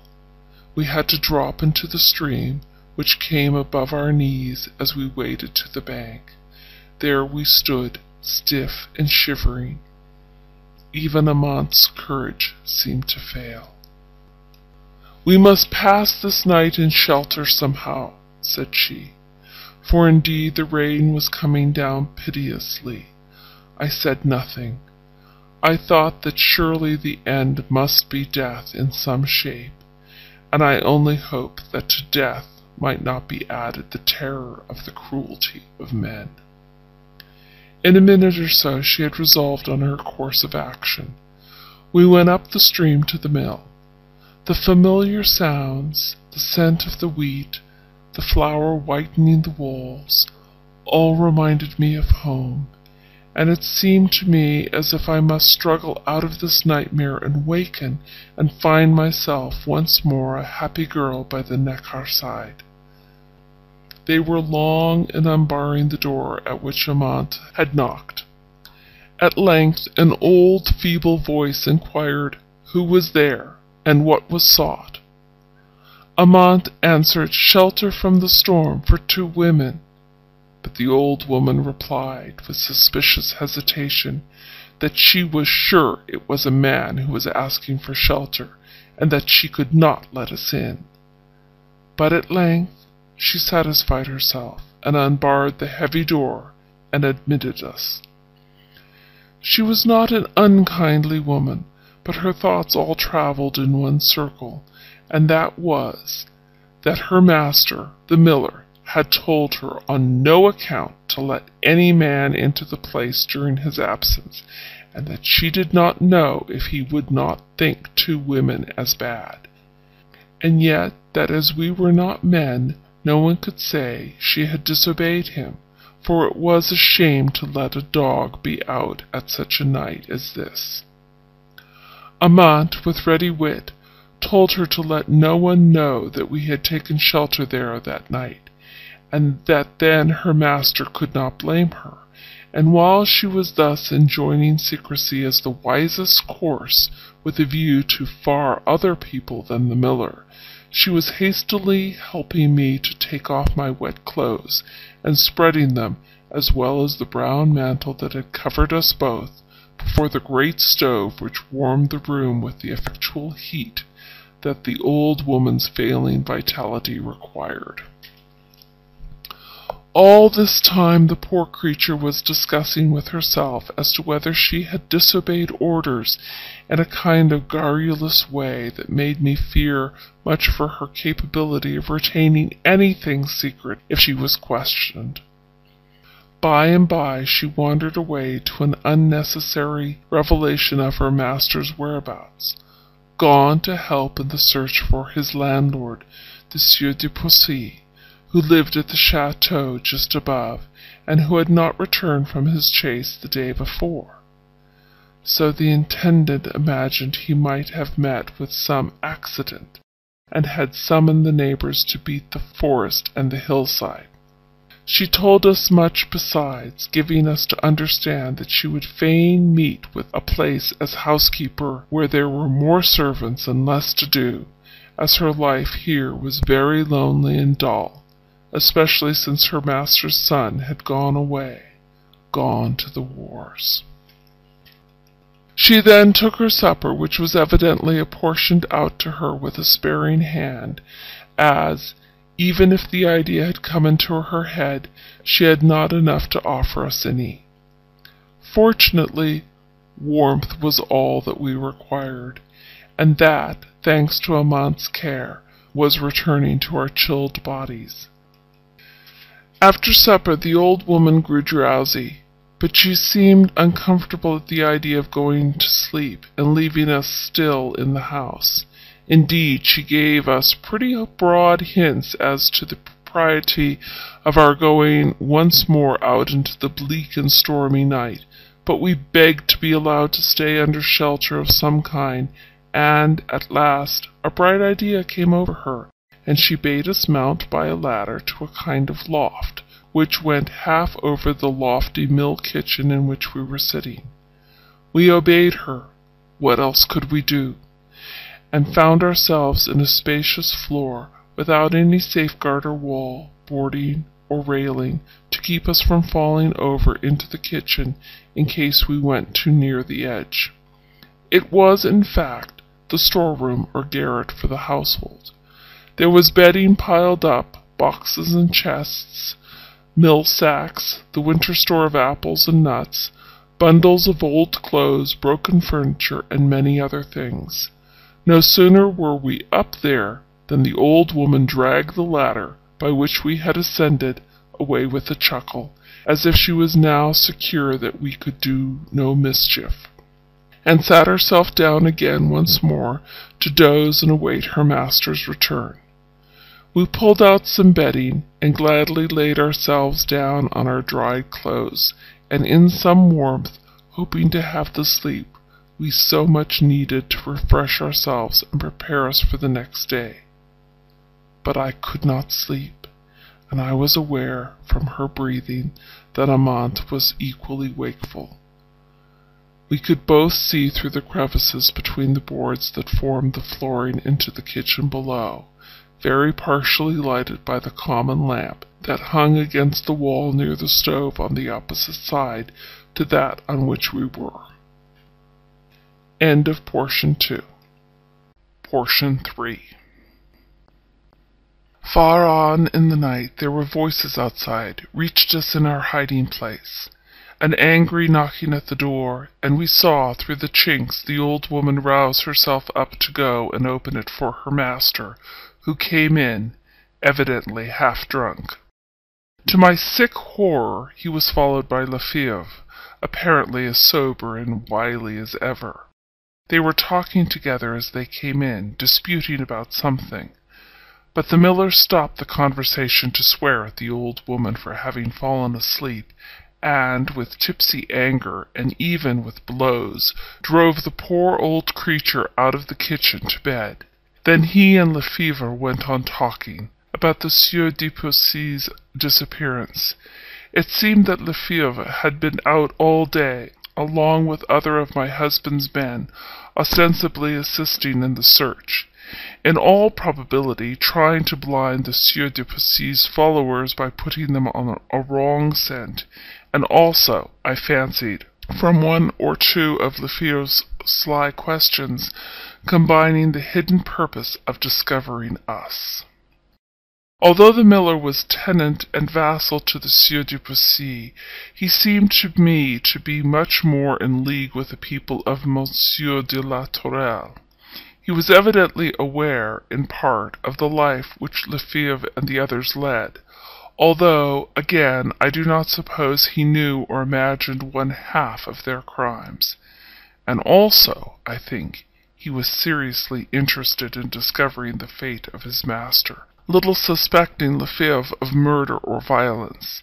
He kept talking himself and letting out all sorts of thoughts and opinions, watched by the keen eyes of Lefebvre gleaming out below his shaggy eyebrows. It was evidently not the cue of the latter to let out that his master's wife had escaped from that vile and terrible den, but though he never breathed a word relating to us, not the less was I certain he was thirsting for our blood, and lying in wait for us at every turn of events. Presently he got up and took his leave, and the miller bolted him out and stumbled off to bed. Then we fell asleep, and slept sound and long. The next morning, when I awoke, I saw Amante, half raised, resting on one hand, and eagerly gazing with straining eyes into the kitchen below. I looked too, and both heard and saw the miller and two of his men eagerly and loudly talking about the old woman, who had not appeared as usual to make the fire in the stove and prepare her master's breakfast, and who now, late on in the morning, had been found dead in her bed. Whether from the effect of her master's blows the night before, or from natural causes, who can tell? The miller's conscience upbraided him a little, I should say, for he was eagerly declaring his value for his housekeeper, and repeating how often she had spoken of the happy life she led with him. The men might have their doubts, but they did not wish to offend the miller, and all agreed that the necessary steps should be taken for a speedy funeral. And so they went out, leaving us in our loft, but so much alone that, for the first time almost, we ventured to speak freely, though still in hushed voice, pausing to listen continually. Amante took a more cheerful view of the whole occurrence than I did. She said that, had the old woman lived, we should have had to depart that morning, and that this quiet departure would have been the best thing we could have had to hope for, as, in all probability, the housekeeper would have told her master of us and of our resting place, and this fact would, sooner or later, have been brought to the knowledge of those from whom we most desired to keep it concealed. But that now we had time to rest, and a shelter to rest in, during the first hot pursuit, which we knew to a fatal certainty was being carried on.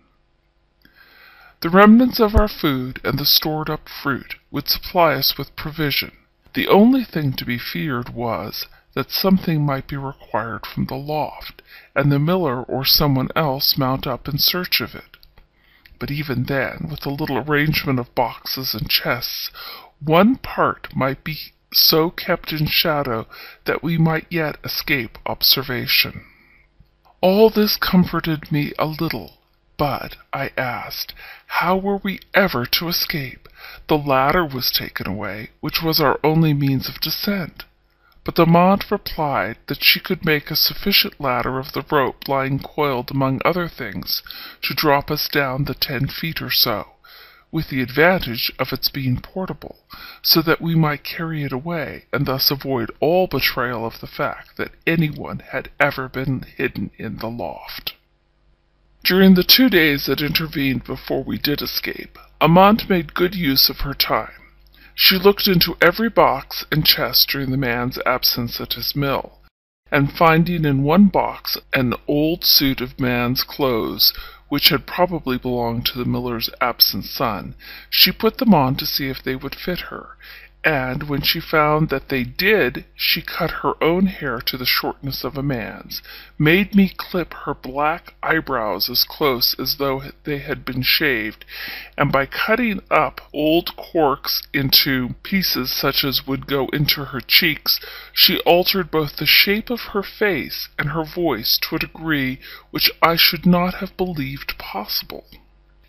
All this time I lay like one stunned my body resting and renewing its strength, but I myself in an almost idiotic state. Else surely I could not have taken the stupid interest which I remember I did in all Amante's energetic preparations for disguise. I absolutely recollect once the feeling of a smile coming over my stiff face as some new exercise of her cleverness proved a success. But towards the second day she required me too to exert myself, and then all my heavy despair returned. I let her dye my fair hair and complexion with the decaying shells of the stored up walnuts. I let her blacken my teeth, and even voluntarily broke a front tooth the better to effect my disguise. But through it all I had no hope of evading my terrible husband. The third night the funeral was over, the drinking ended, the guests gone. The miller put to bed by his men, being too drunk to help himself. They stopped a little while in the kitchen, talking and laughing about the new housekeeper likely to come, and they, too, went off, shutting but not locking the door. Everything favored us. Amante had tried her ladder on one of the two previous nights, and could, by a dexterous throw from beneath, unfasten it from the hook to which it was fixed when it had served its office.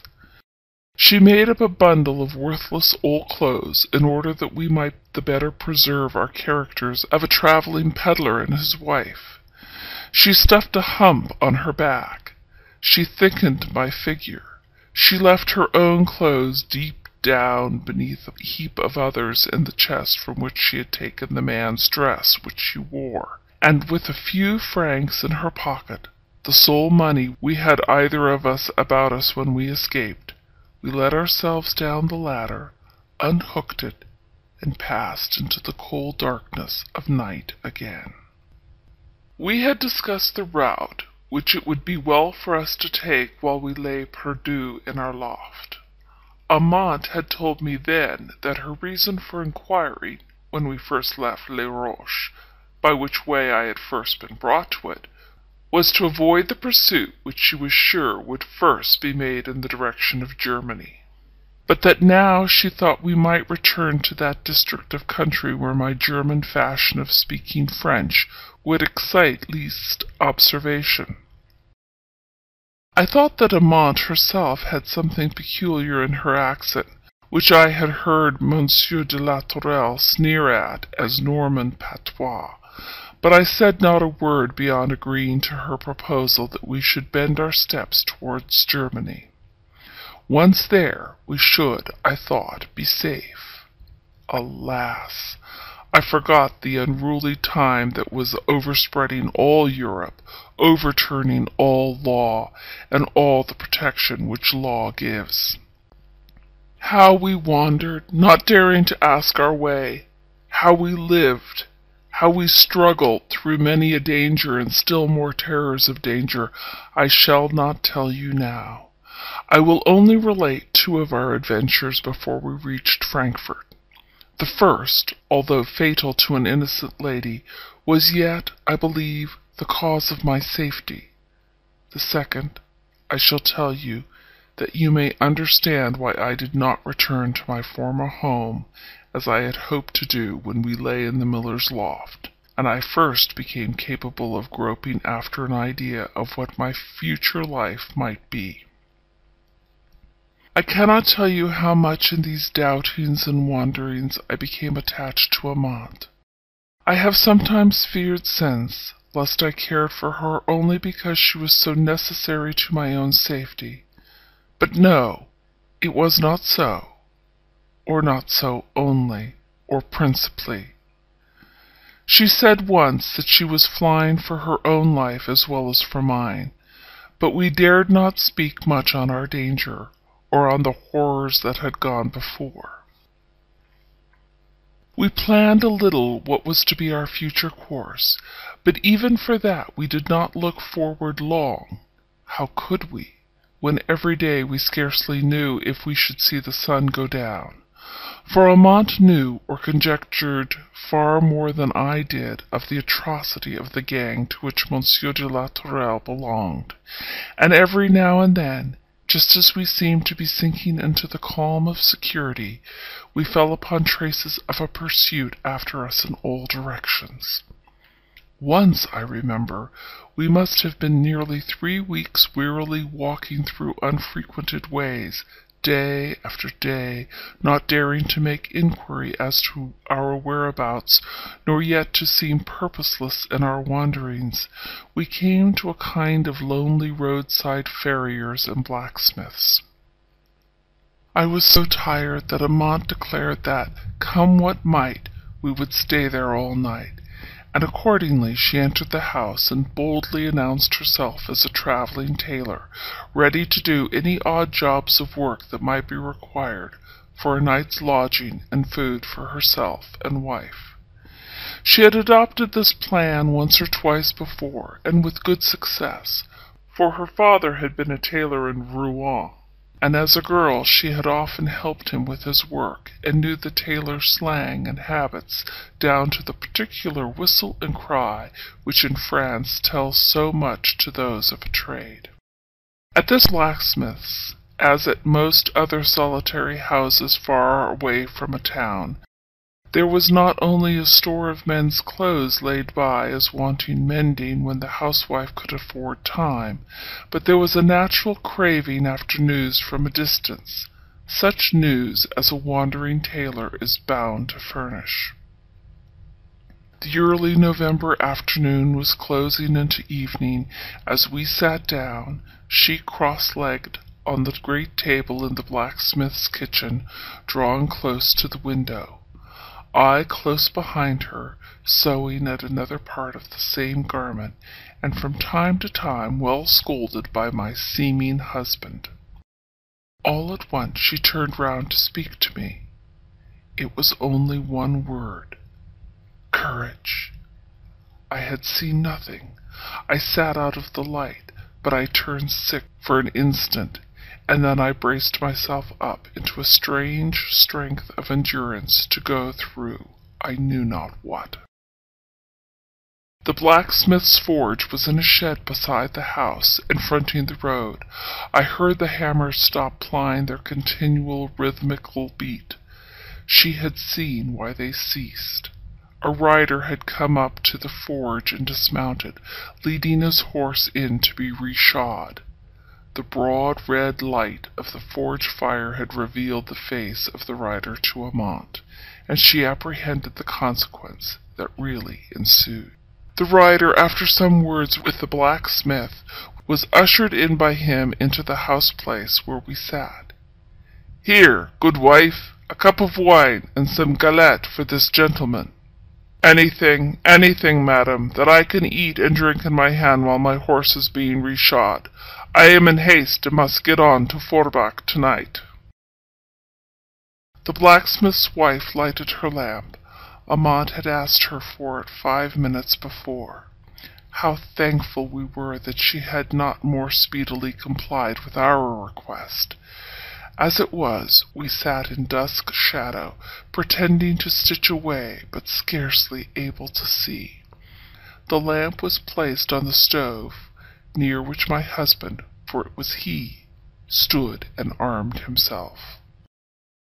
By and by he turned round and looked all over the room, taking us in with the same degree of interest as the inanimate furniture. Amante, cross-legged, fronting him, stooped over her work, whistling softly all the while. He turned again to the stove, impatiently rubbing his hands. He had finished his wine and galette, and wanted to be off. I am in haste, my good woman. Ask thy husband to get on more quickly. I will pay him double if he makes haste. The woman went out to do his bidding, and he once more turned round to face us. Amante went on to the second part of the tune. He took it up, whistled a second for an instant or so, and then the blacksmith's wife re-entering, he moved towards her, as if to receive her answer the more speedily. One moment, monsieur, only one moment. There was a nail out of the off fore-shoe, which my husband is replacing. It would delay monsieur again if that shoe also came off. Mm, madame is right, said he, but my haste is urgent. If Madame knew my reasons, she would pardon my impatience. Once a happy husband, now a deserted and betrayed man, I pursue a wife on whom I lavished all my love, but who has abused my confidence, and fled from my house, doubtless to some paramour, carrying off with her all the jewels and money on which she could lay her hands. It is possible Madame may have heard or seen something of her. She was accompanied in her flight by a base, profligate woman from Paris, whom I, unhappy man, had myself engaged for my wife's waiting maid, little dreaming what corruption I was bringing into my house. Is it possible? said the good woman, throwing up her hands. Amante went on whistling a little lower, out of respect to the conversation. However, I am tracing the wicked fugitives. I am on their track. And the handsome, effeminate face looked as ferocious as any demon's. They will not escape me, but every minute is a minute of misery to me till I meet my wife. Madame has sympathy, has she not? He drew his face into a hard, unnatural smile, and then both went out to the forge as if once more to hasten the blacksmith over his work. Amante stopped her whistling for one instant. Go on as you are, without change of an eyelid even. In a few minutes he will be gone, and it will be over. It was a necessary caution, for I was on the point of giving way and throwing myself weakly upon her neck. We went on, she whistling and stitching, I making semblance to sew. And it was well we did so, for almost directly he came back for his whip, which he had laid down and forgotten. And again I felt one of those sharp, quick scanning glances, sent all around the room, and taking in all. Then we heard him ride away, and then, it had been long too dark to see well. I dropped my work and gave way to my trembling and shuddering. The blacksmith's wife returned. She was a good creature. Amante told her I was cold and weary, and she insisted on my stopping my work and going to sit near the stove, hastening, at the same time, her preparations for supper, which, in honour of us and of Monsieur's liberal payment, was to be a little less frugal than ordinary. It was well for me that she made me taste a little of the cider soup she was preparing, or I could not have held up, in spite of Amante's warning look, and the remembrance of her frequent exhortations to act resolutely up to the characters we had assumed, whatever befell.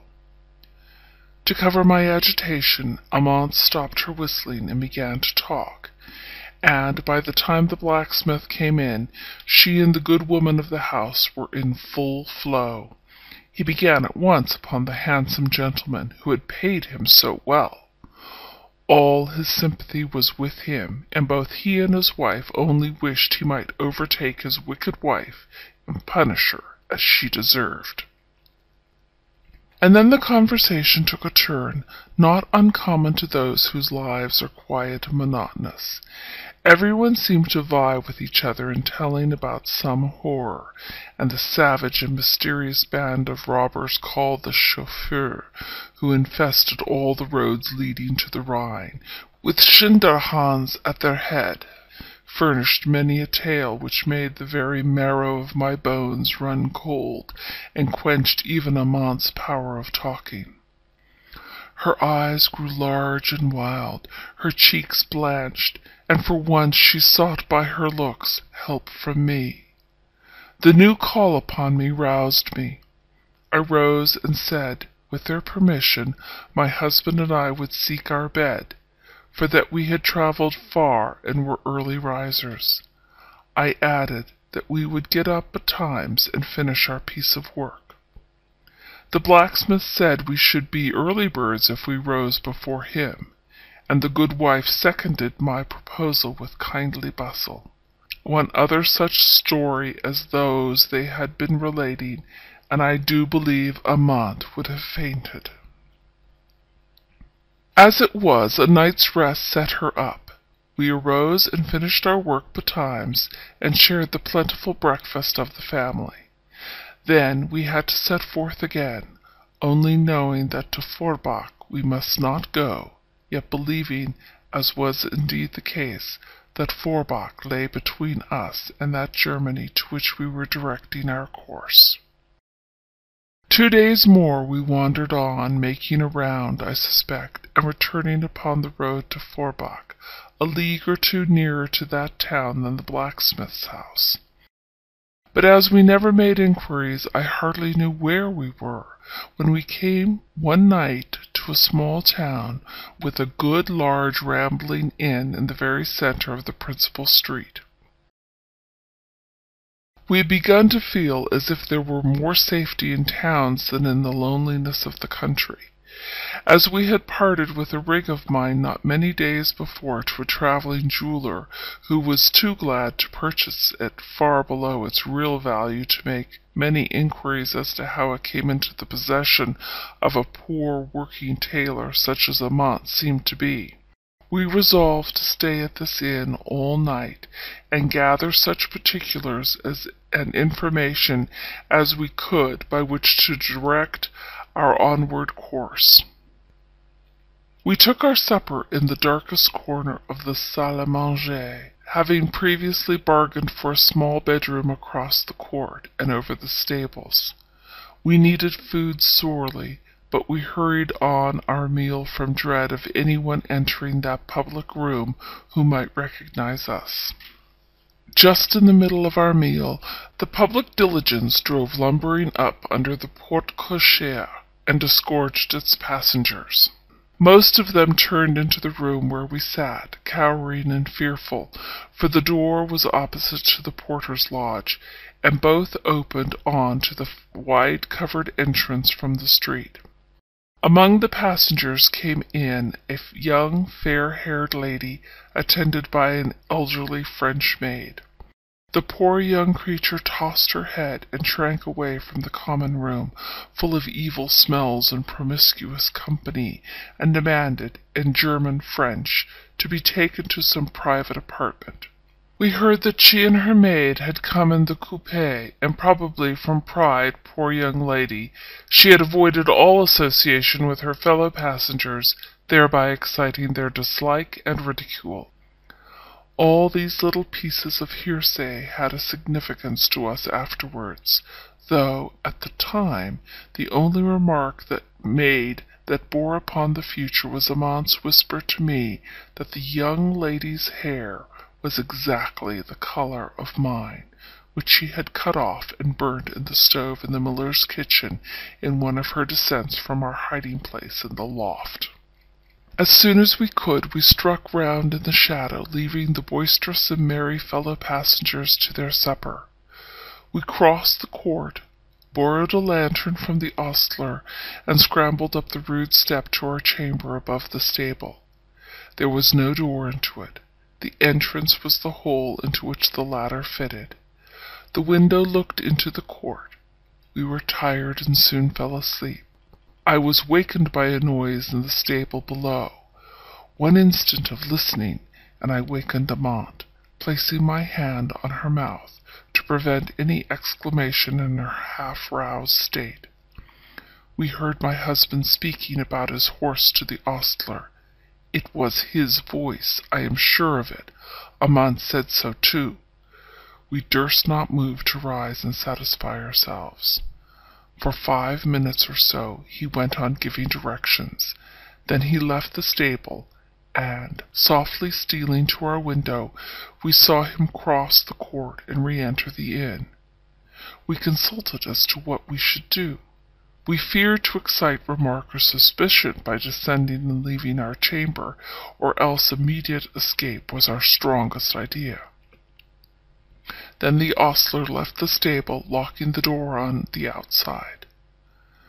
We must try and drop through the window, if indeed it is well to go at all, said Amante. With reflection came wisdom. We should excite suspicion by leaving without paying our bill. We were on foot, and might easily be pursued. So we sat on our bed's edge, talking and shivering, while from across the court the laughter rang merrily, and the company slowly dispersed one by one, their lights flitting past the windows as they went upstairs and settled each one to his rest. We crept into our bed, holding each other tight, and listening to every sound as if we thought we were tracked, and might meet our death at any moment. In the dead of night, just as the profound stillness preceding the turn into another day, we heard a soft, cautious step crossing the yard. The key into the stable was turned. Someone came into the stable. We felt rather than heard him there. A horse started a little and made a restless movement with his feet, then whinnied recognition. He who had entered made two or three low sounds to the animal, and then led him into the court. Amante sprang to the window with the noiseless activity of a cat. She looked out, but dared not speak a word. We heard the great door into the street open. A pause for mounting, and the horse's footsteps were lost in distance. Then Amante came back to me. It was he! He is gone, said she, and once more we lay down, trembling and shaking. This time we fell sound asleep. We slept long and late. We were wakened by many hurrying feet and many confused voices. All the world seemed awake and astir. We rose and dressed ourselves, and coming down we looked around among the crowd collected in the courtyard in order to assure ourselves he was not there before we left the shelter of the stable. The instant we were seen, two or three people rushed to us. Have you heard? Do you know? That poor young lady! Oh, come and see! And so we were hurried almost in spite of ourselves across the court and up the great open stairs of the main building of the inn into a bedchamber, where lay the beautiful young German lady, so full of graceful pride the night before, now white and still in death. By her stood the French maid, crying and gesticulating. Oh, madame, if you had but suffered me to stay with you! Oh, the Baron, what will he say? And so she went on. Her state had but just been discovered. It had been supposed that she was fatigued and was sleeping late until a few minutes before. The surgeon of the town had been sent for, and the landlord of the inn was trying vainly to enforce order until he came, and from time to time drinking little cups of brandy and offering them to the guests, who were all assembled there, pretty much as the servants were doing in the courtyard. At last the surgeon came. All fell back and hung on the words that were to fall from his lips. See, said the landlord, this lady came last night by the diligence with her maid, doubtless a great lady, for she must have a private sitting room. She was Madame the Baroness de Roeder, said the French maid, and was difficult to please in the matter of supper and a sleeping room. She went to bed well, though fatigued. Her maid left her. I begged to be allowed to sleep in her room, as we were in a strange inn, of the character of which we knew nothing, but she would not let me, my mistress was such a great lady. And slept with my servants, continued the landlord. This morning we thought madame was still slumbering, but when eight, nine, ten, and near eleven o'clock came, I bade her maid use my pass key and enter her room. The door was not locked, only closed, and here she was found, dead is she not, monsieur, with her face down on her pillow and her beautiful hair all scattered wild. She would never let me tie it up, saying it made her head ache. Such hair, said the waiting maid, lifting up a long golden tress and letting it fall again. I remembered Amante's words the night before, and crept close up to her. Meanwhile the doctor was examining the body underneath the bedclothes, which the landlord, until now, had not allowed to be disarranged. The surgeon drew out his hand, all bathed and stained with blood, and holding up a short, sharp knife with a piece of paper fastened round it. Here has been foul play, he said. The deceased lady has been murdered. This dagger was aimed straight at her heart. Then putting on his spectacles he read the writing on the bloody paper, dimmed and horribly obscured as it was. Numero un. Ainsi les chauffeurs se vengent. Let us go, said I to Amante. Oh, let us leave this horrible place.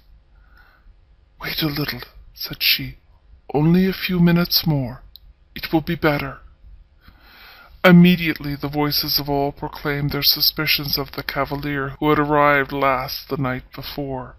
He had, they said, made so many inquiries about the young lady, whose supercilious conduct all in the salle manger had been discussing on his entrance. They were talking about her as we left the room. He must have come in directly afterwards, and not until he had learned all about her had he spoken of the business which necessitated his departure at dawn of day, and made his arrangements with both landlord and ostler for the possession of the keys of the stable and porte In short, there was no doubt as to the murderer, even before the arrival of the legal functionary who had been sent for by the surgeon but the word on the paper chilled every one with terror. Les chauffeurs?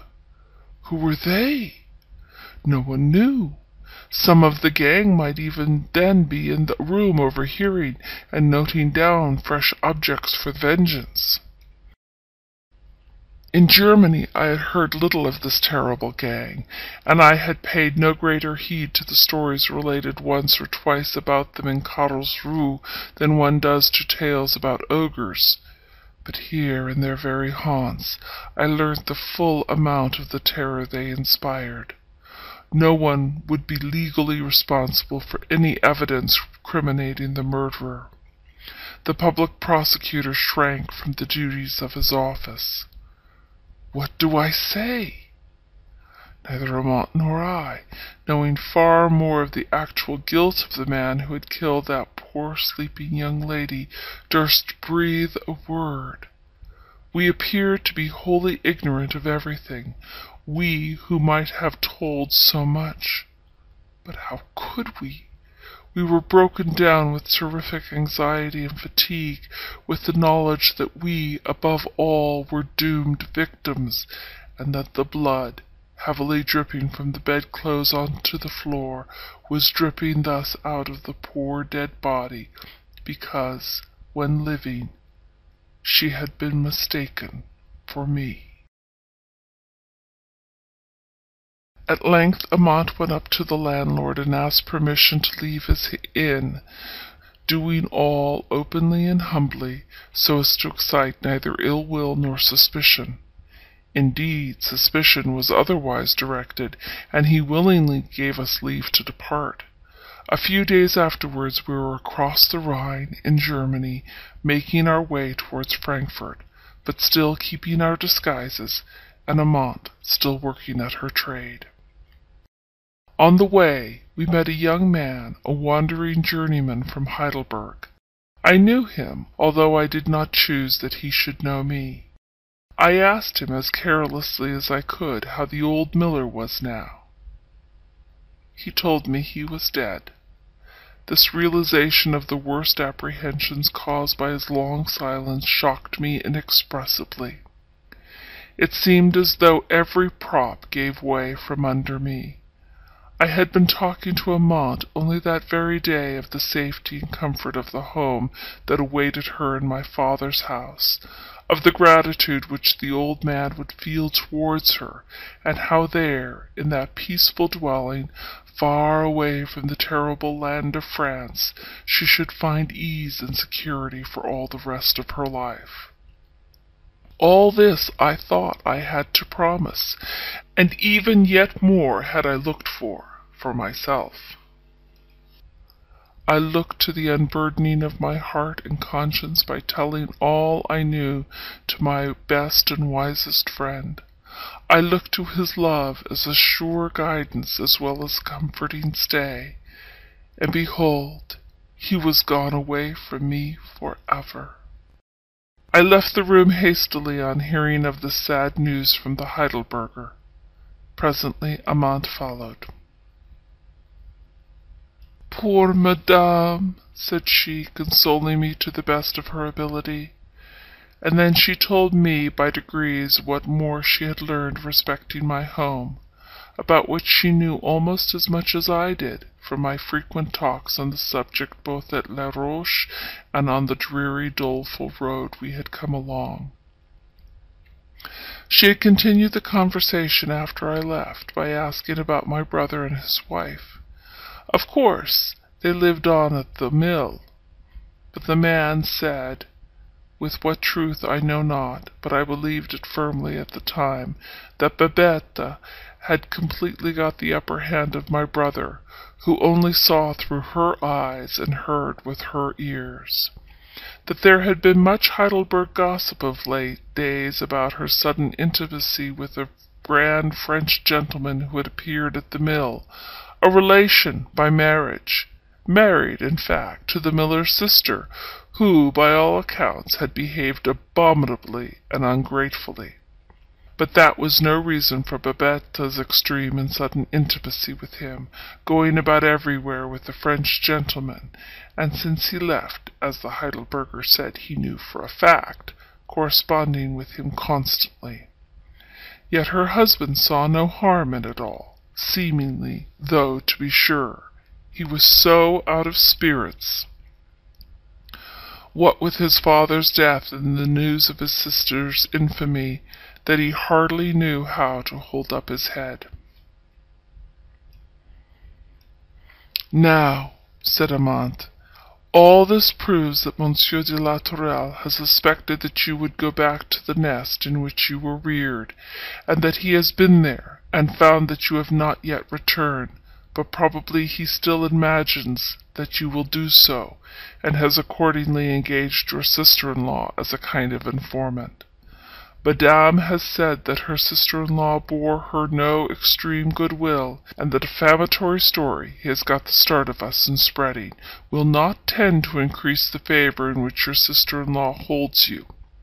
No doubt the assassin was retracing his steps when we met him near Forbach, and having heard of the poor German lady, with her French maid and her pretty blonde complexion, he followed her. If Madame will still be guided by me, and my child, I beg of you still to trust me, said Amante, breaking out of her respectful formality into the way of talking more natural to those who had shared and escaped from common dangers, more natural, too, where the speaker was conscious of a power of protection which the other did not possess. We will go on to Frankfort, and lose ourselves, for a time at least, in the numbers of people who throng a great town. And you have told me that Frankfort is a great town. We will still be husband and wife. We will take a small lodging, and you shall housekeep and live indoors. I, as the rougher and the more alert, will continue my father's trade, and seek work at the tailors' shops. I could think of no better plan, so we followed this out. In a back street at Frankfort we found two furnished rooms to let on the sixth story. The one we entered had no light from day. A dingy lamp swung perpetually from the ceiling, and from that, or from the open door leading into the bedroom beyond, came our only light. The bedroom was more cheerful, but very small. Such as it was, it almost exceeded our possible means. The money from the sale of my ring was almost exhausted, and Amante was a stranger in the place, speaking only French, moreover, and the good Germans were hating the French people right heartily.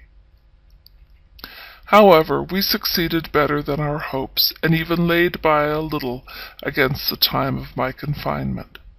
I never stirred abroad, and saw no one, and Amante's want of knowledge of German kept her in a state of comparative isolation. At length my child was born, my poor, worse than fatherless child. It was a girl, as I had prayed for. I had feared lest a boy might have something of the tiger nature of its father, but a girl seemed all my own and yet not all my own, for the faithful Amante's delight and glory in the babe almost exceeded mine. In outward show it certainly did. We had not been able to afford any attendance beyond what a neighboring sage femme could give, and she came frequently, bringing in with her a little store of gossip, and wonderful tales culled out of her own experience every time. One day she began to tell me about a great lady in whose service her daughter had lived as a scullion, or some such thing. Such a beautiful lady, with such a handsome husband. But grief comes to the palace as well as to the garret, and why or wherefore no one knew, but somehow the Baron de Roeder must have incurred the vengeance of the terrible Chauffeurs, for not many months ago, as Madame was going to see her relations in Alsace, she was stabbed dead as she lay in bed at some hotel on the road. Had I not seen it in the Gazette? Had I not heard? Why, she had been told that as far off as Lyons there were placards offering a heavy reward on the part of the Baron de Roeder for information respecting the murderer of his wife. But no one could help him, for all who could bear evidence were in such terror of the chauffeur. There were hundreds of them, she had been told, rich and poor, great gentlemen and peasants, all leagued together by most frightful oaths to hunt to the death any one who bore witness against them. so that even they who survived the tortures to which the chauffeur subjected many of the people whom they plundered dared not to recognize them again, would not dare, even did they see them at the bar of a court of justice, for, if one were condemned, were there not hundreds sworn to avenge his death? I told all this to Amante, and we began to fear that if Monsieur de la Tourelle, or Lefebvre, or any of the gang at Les Rochers had seen these placards, they would know that the poor lady stabbed by the former was the Baroness de Roeder, and that they would set forth again in search of me. This fresh apprehension told on my health and impeded my recovery. We had so little money we could not call in a physician, at least not one in established practice. But Amante found out a young doctor for whom, indeed, she had sometimes worked, and offering to pay him in kind, she brought him to see me her sick wife.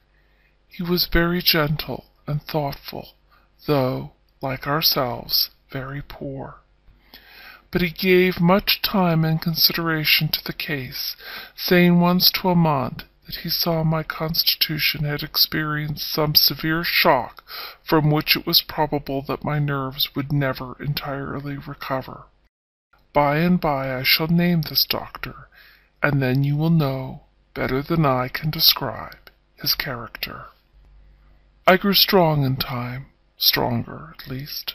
I was able to work a little at home, and to sun myself and my baby at the garret window in the roof.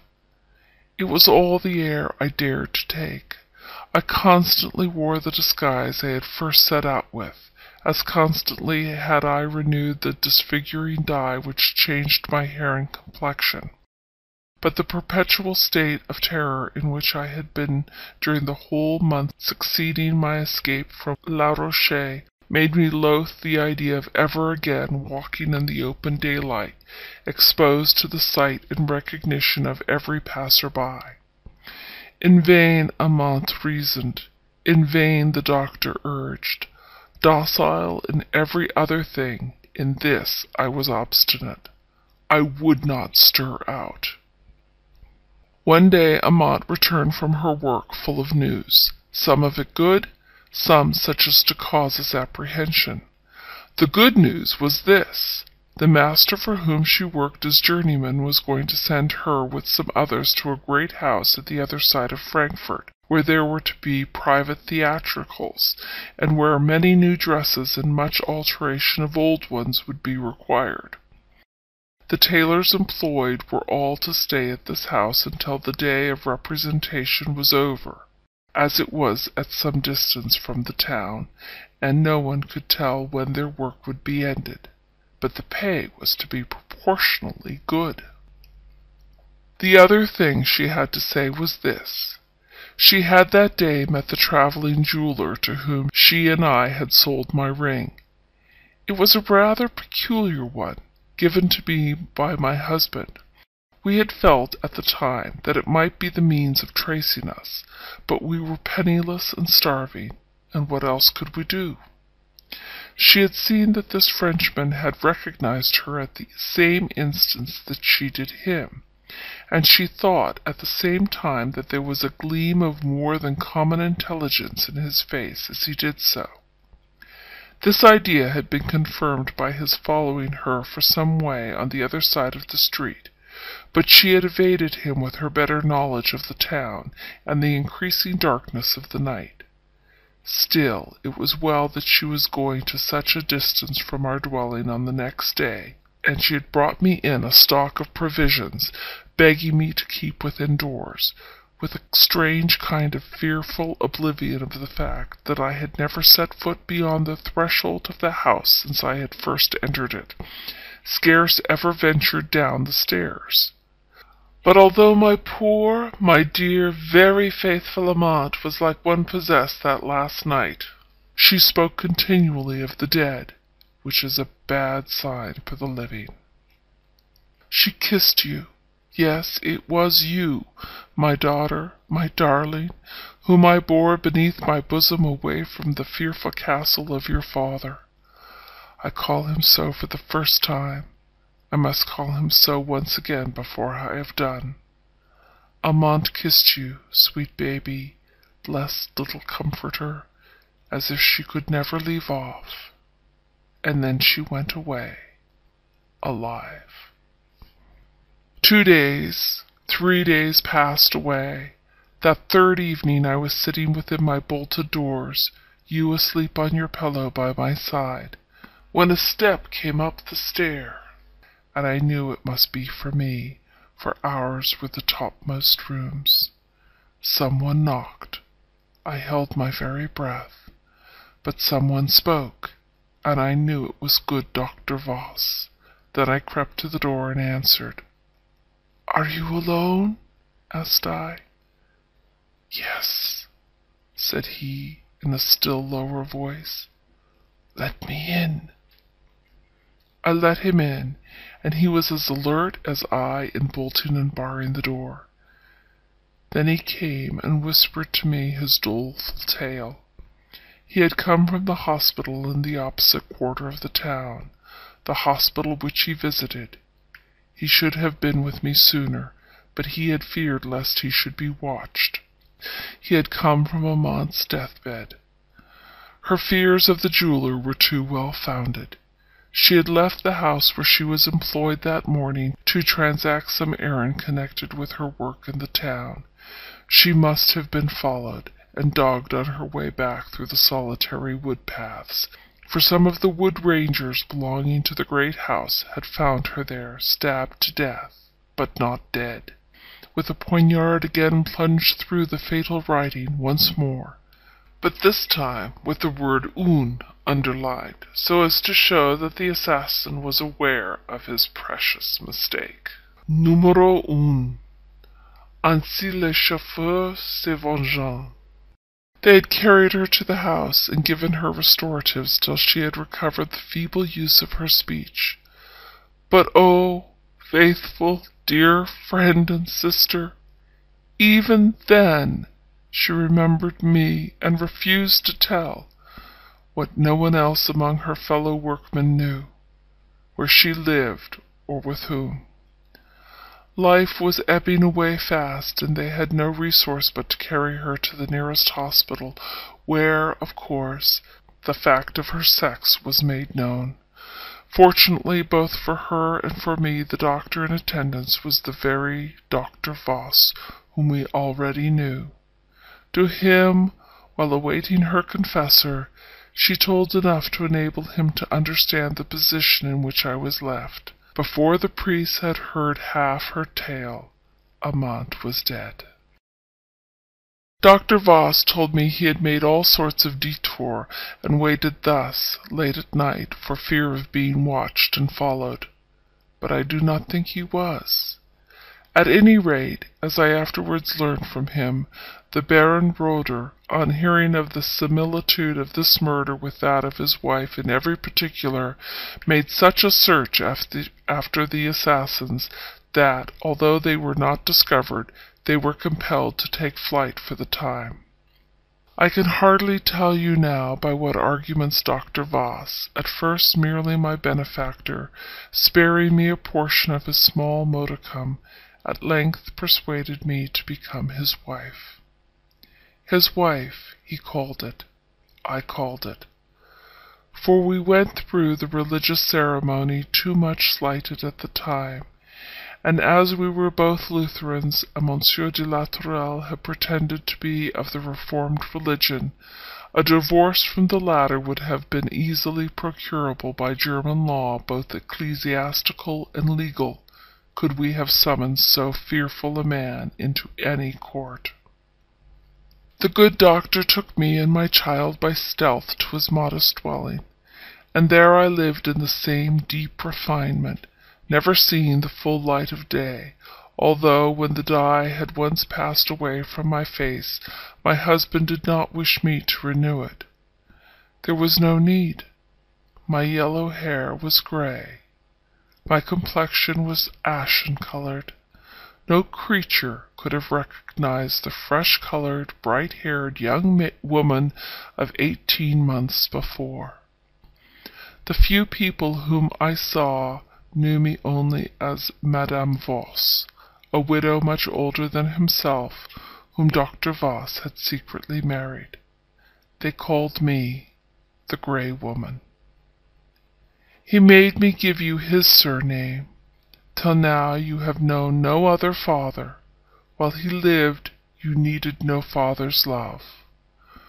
Once only, only once more, did the old terror come upon me.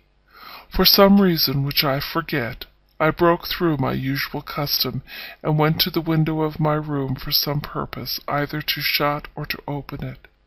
Looking out into the street for an instant, I was fascinated by the sight of Monsieur de la Tourelle, gay, young, elegant as ever, walking along on the opposite side of the street. The noise I had made with the window caused him to look up. He saw me, an old grey woman, and he did not recognize me. Yet it was not three years since we had parted, and his eyes were keen and dreadful like those of the lynx. I told Monsieur Voss on his return home, and he tried to cheer me, but the shock of seeing Monsieur de la Tourelle had been too terrible for me. I was ill for long months afterwards. Once again I saw him, dead he and Lefebvre were at last caught, hunted down by the Baron de Roeder in some of their crimes. Dr. Voss had heard of their arrest, their condemnation, their death. But he never said a word to me until one day he bade me show him that I loved him by my obedience and my trust. He took me a long carriage journey, where to I know not, for we never spoke of that day again. I was led through a prison into a closed courtyard, where, decently draped in the last robes of death, concealing the marks of decapitation, lay Monsieur de la Tourelle and two or three others whom I had known at Les Rochers. After that conviction Dr. Voss tried to persuade me to return to a more natural mode of life, and to go out more. But although I sometimes complied with his wish, yet the old terror was ever strong upon me, and he, seeing what an effort it was, gave up urging me at last. You know all the rest. How we both mourned bitterly the loss of that dear husband and father, for such I will call him ever, and as such you must consider him, my child, after this one revelation is over. Why has it been made, you ask? For this reason, my child. The lover whom you have only known as Monsieur Lebrun, a French artist, told me but yesterday his real name, dropped because the bloodthirsty Republicans might consider it as too aristocratic. It is Maurice de Poissy. End of portion three. End of The Grey Woman by Elizabeth Cleghorn Gaskell.